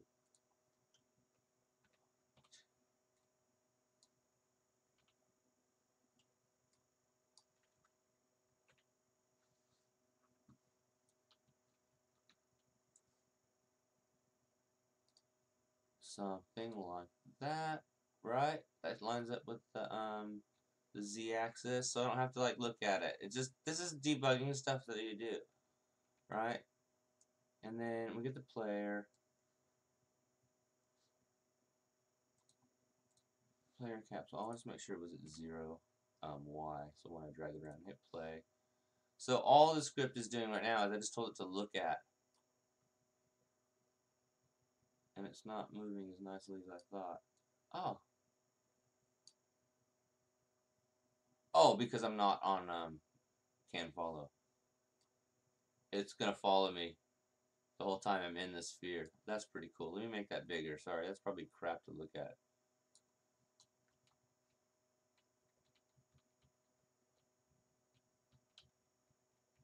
We can make our trigger bigger already.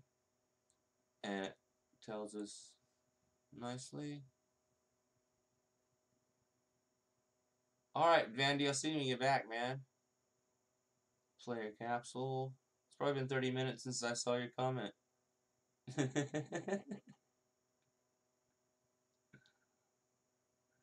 I hope that, yeah, I, this is exactly what you're trying to do. As I'm hoping so. It, well, as long as we're in the red right now, this is all working, you know. And so part of the debug thing was. So always just having it move forward is just move itself forward once, um, which is just z should always just increase the z, right? Increase or decrease the z.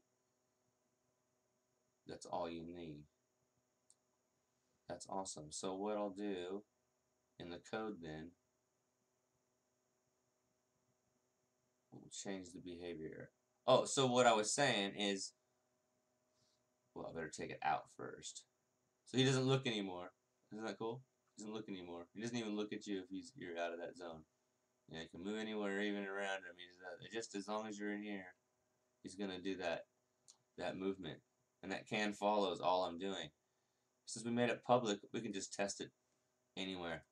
We're not worried about the trigger. The codes, we can test our um, we test our box. You know, make sure that movement is right, the behavior is right. Oh yeah, it's always pointing towards that.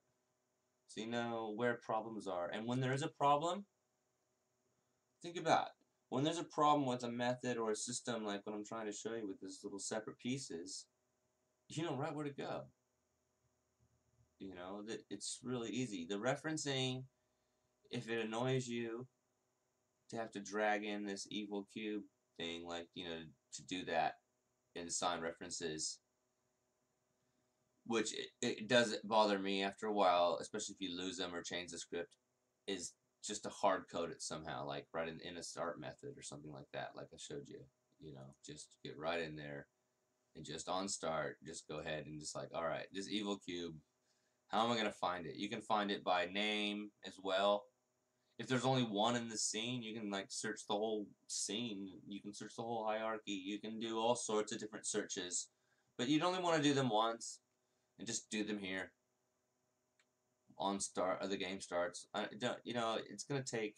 And when we talk about, I mean, to access Sphere Collider, like you know, these ref, like this reference here, it's gonna be really quick. But to get component might be like say ten times fast, slower. So it's not that big of a deal, because you're just calling it once. But yeah, we just don't do those things hundreds of times over. Is all. So player look at that's not a bad little um little little uh Unity method helper, is it?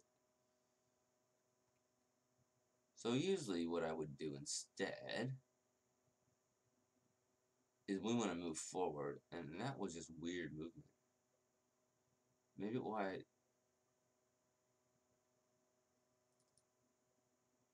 I don't understand what.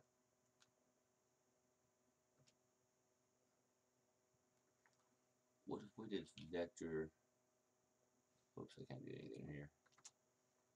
What if we did space self?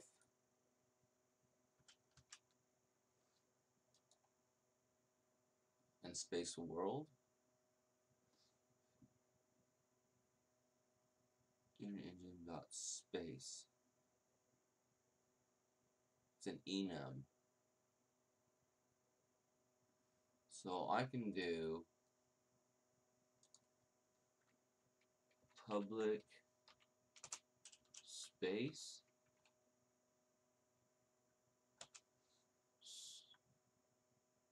Space.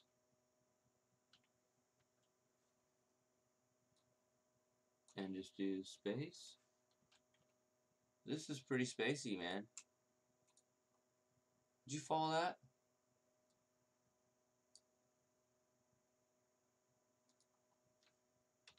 equals space. So you can do default, default. I think I do space self by default. So those are enums. We'll cover enums another day. They're great. Yeah, you don't. I'm sure you use them already. I don't even know what I'm talking about. Everybody uses them. And um, so now I can just change it. It's public, right? Yeah. Move that down.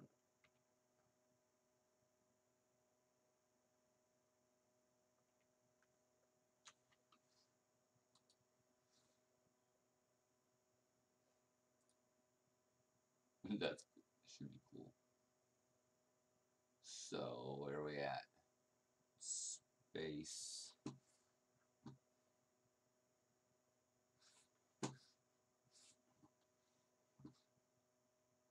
Mouse seems all slow.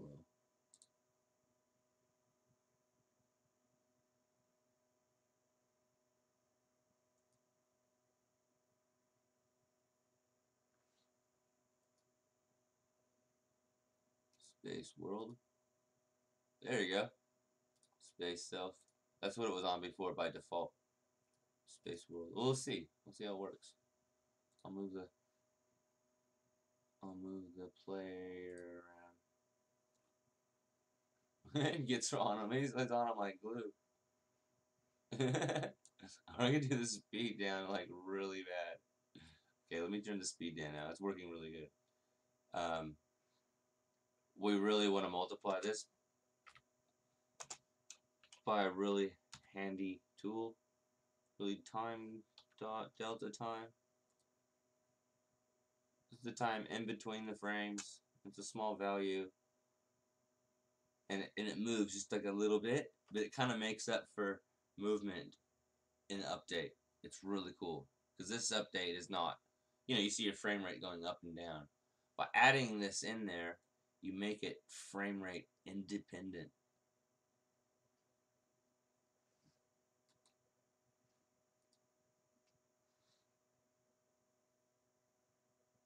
We might be done.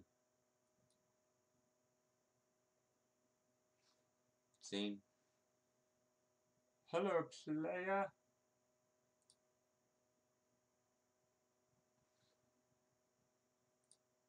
Okay, wait.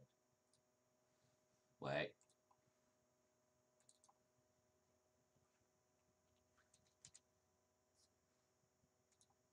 Because world, I mean, that one, I wanted to be default. I can just move that out now.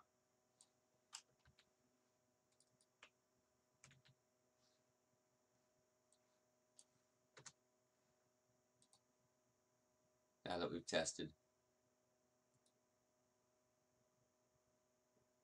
And let's do the final test. Hit play. Nothing happens. Get inside the trigger. Uh, it starts moving towards me. I'm running away. And time dot delta time does so much. That little bit of movement. And if I just want to keep testing the movement, I just put can follow on. I got a thing that moves all the time. That way I can really adjust the speed if I want, like being away from it. You know, if I want it slower. You could even do negative, as far as I know. Why couldn't you? Because you're just a speed value. You you're multiplying negatively. Um, in fact, I'll do that. I'll show you what I mean. There's no reason why not. It's math. Just do negative two to two. We'll start off at one, but um, that's all we need in speed. How cool is that looking? I love scripts like this. You see why we've got this one simple update loop. It doesn't do anything unless it's actually working, and that's that's when you need an update loop, is when the things are working. And it's just sitting there smoothly. It looks at the player first. So it's rotated the transform. Whatever rotation, Euler, quaternion it is, doesn't matter. You don't have to think about it. It's there looking at the player. and then it just translates forward, you know, at a speed that we multiply by speed and delta time, that beautiful value that just kind of smooths everything out. It's like a spring, in a way, like that, like a dampening leaf spring in your car. Okay. It's just a small value though. It's it's basically like depends on how many frame rates you are it's like 60-ish or 120-ish or whatever. It doesn't matter, but it smooth everything out. Make the trigger a little bigger. Oh, make it really bigger. Doesn't really matter now. We've got three separate things. So you can go ahead and I've got no scripts on the on the player, so you can make a movement script for the player for your keyboard and your mouse. You know, we can do that um, another day. We can we've got it. We've got our code. It's separate. We've got just three game objects. One's an evil zone. One's an evil object that basically kind of lives with the zone, you know, and that's why we um, we told it evil cube zone has a reference to evil cube. We don't have to worry about it coming in and out of the trigger or anything. We had a lot of little stuff. And I'm going to drag all these scripts right now. File, save scenes. Oops, I didn't even save the scene. Imagine if something would have happened. um, to, we'll call this evil scene one. I like it. Um, as far as our project size, we don't have to do any type of um, organization here. I don't even probably delete player trigger. Delete that. Player trigger. We just keep you for reference. File save scene because we get so far. We started here with player trigger, duplicated it, and then made it into Evil Cube Zone, you know what I mean? And it's moved a long way. And so it's kind of cool to have your reference and go back. I like to keep scripts like that and say, what did I do there? So really, we only have two scripts. Three game objects, two scripts. One goes on the trigger, one goes on the evil cube. Um, and the player needs to have the, the tag player, obviously. So I will um, show and explore, modify by type. I will give you all three. Let's see what Discord probably won't let me do three things.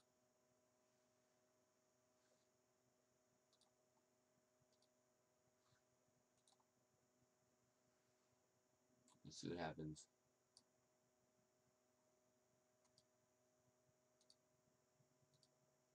Yep, I said hit OK button. And it uploaded them in those orders.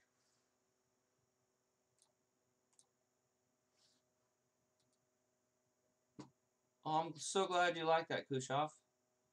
So glad.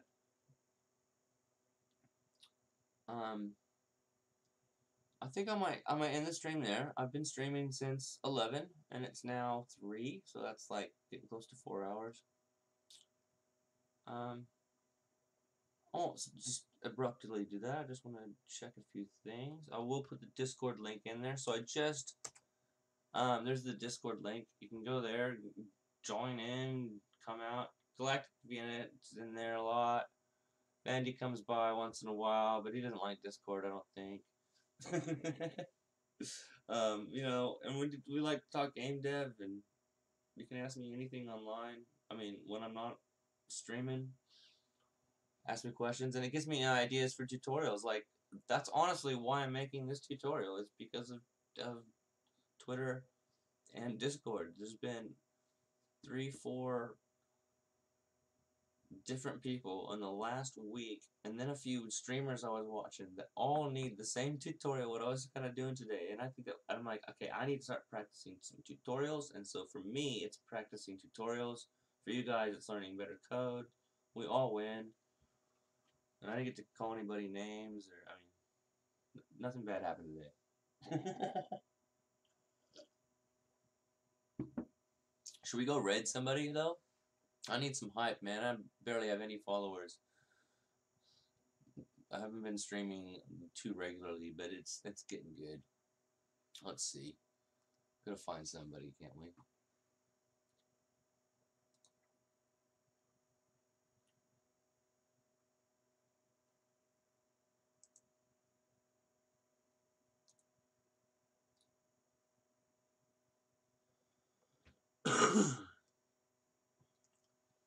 Yes, you should have all those. Um, hey, if you want, I was wondering how big the scene is. I can also drag the scene in for you. Nah, you do it from scratch. It's not that bad. It's three game objects. What am I talking about?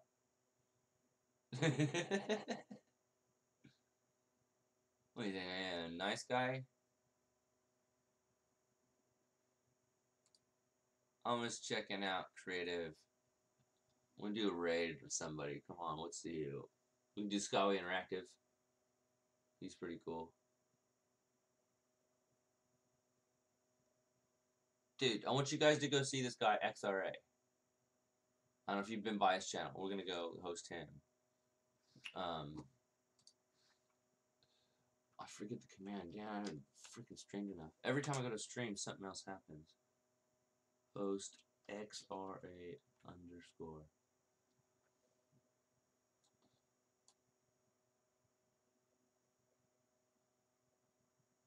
Yeah. Anyway, um, before we go over there, eh, yeah, that's that's the freaking one. Let me see here. I'll post.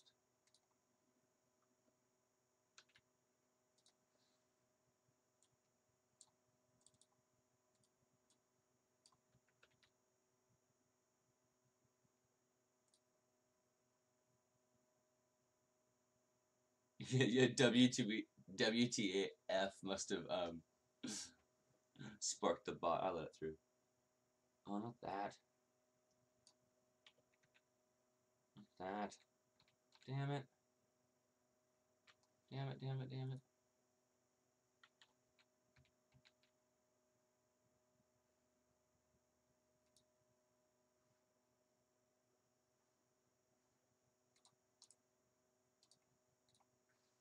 You know when things just don't go right sometimes.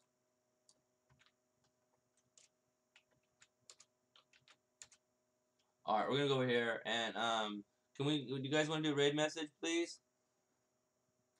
It just helps out, man. He's a cool guy too, and I, I was gonna tell you about him before I went over there as I'm writing my raid message out. Um. Oh, I've got one probably already written out.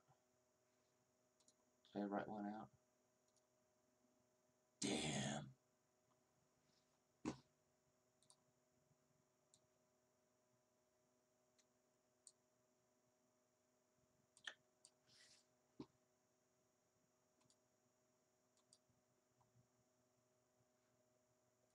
I should have been more prepared at this. At XRA. He's making dude. The dude. The, the XRA guy is is freaking a genius shader programmer, and watching him code is cool. Like, and it's it's kind of the same kind of the way I do it sometimes. He doesn't not doing so much tutorials I've seen, but he's actually making his game, and the, it's freaking awesome, man. It's it's just freaking awesome to watch what he's doing. He's making it's the game he's making right now is all black and white, but he's making this cool scanner with a shader makes all these really cool effects. You're like exploring, and um, I just wanted to see him and give him some love for me. Um, what's the Twitch raid? I was looking for the Twitch raid bomb, and I can't figure out what it is. If it's capital T or because I used to write that stuff. Oh, that's right. Here it is. Here, can you guys? I'm gonna go over there, and if you want.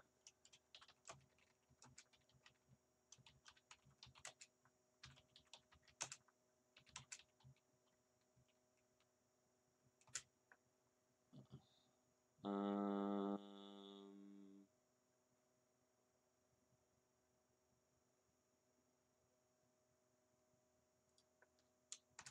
there you go. yeah, that's what I wanted. Alright, so if you want to copy and paste that into the link, follow the link, I'm going to go over there and hang out for a little while. Just calm on down, have a cigarette in the background. And um, thank you guys so much for coming out. I will be back uh, very shortly, probably like um, the next day, next day or two. And I'll see you guys then. So now I'm typing in host XRA underscore and I'm going to hit enter.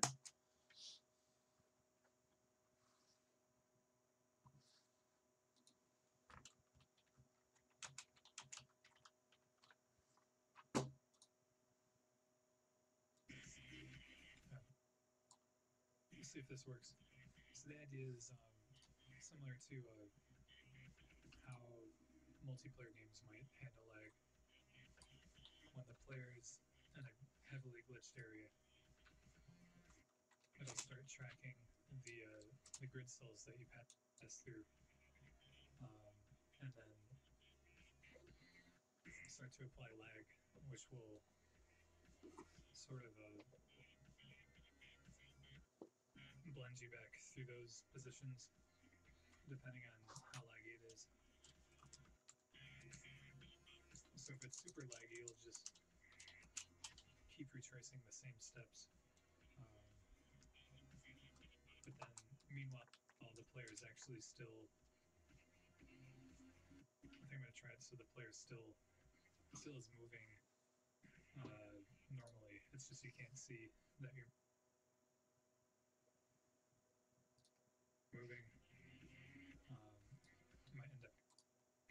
Okay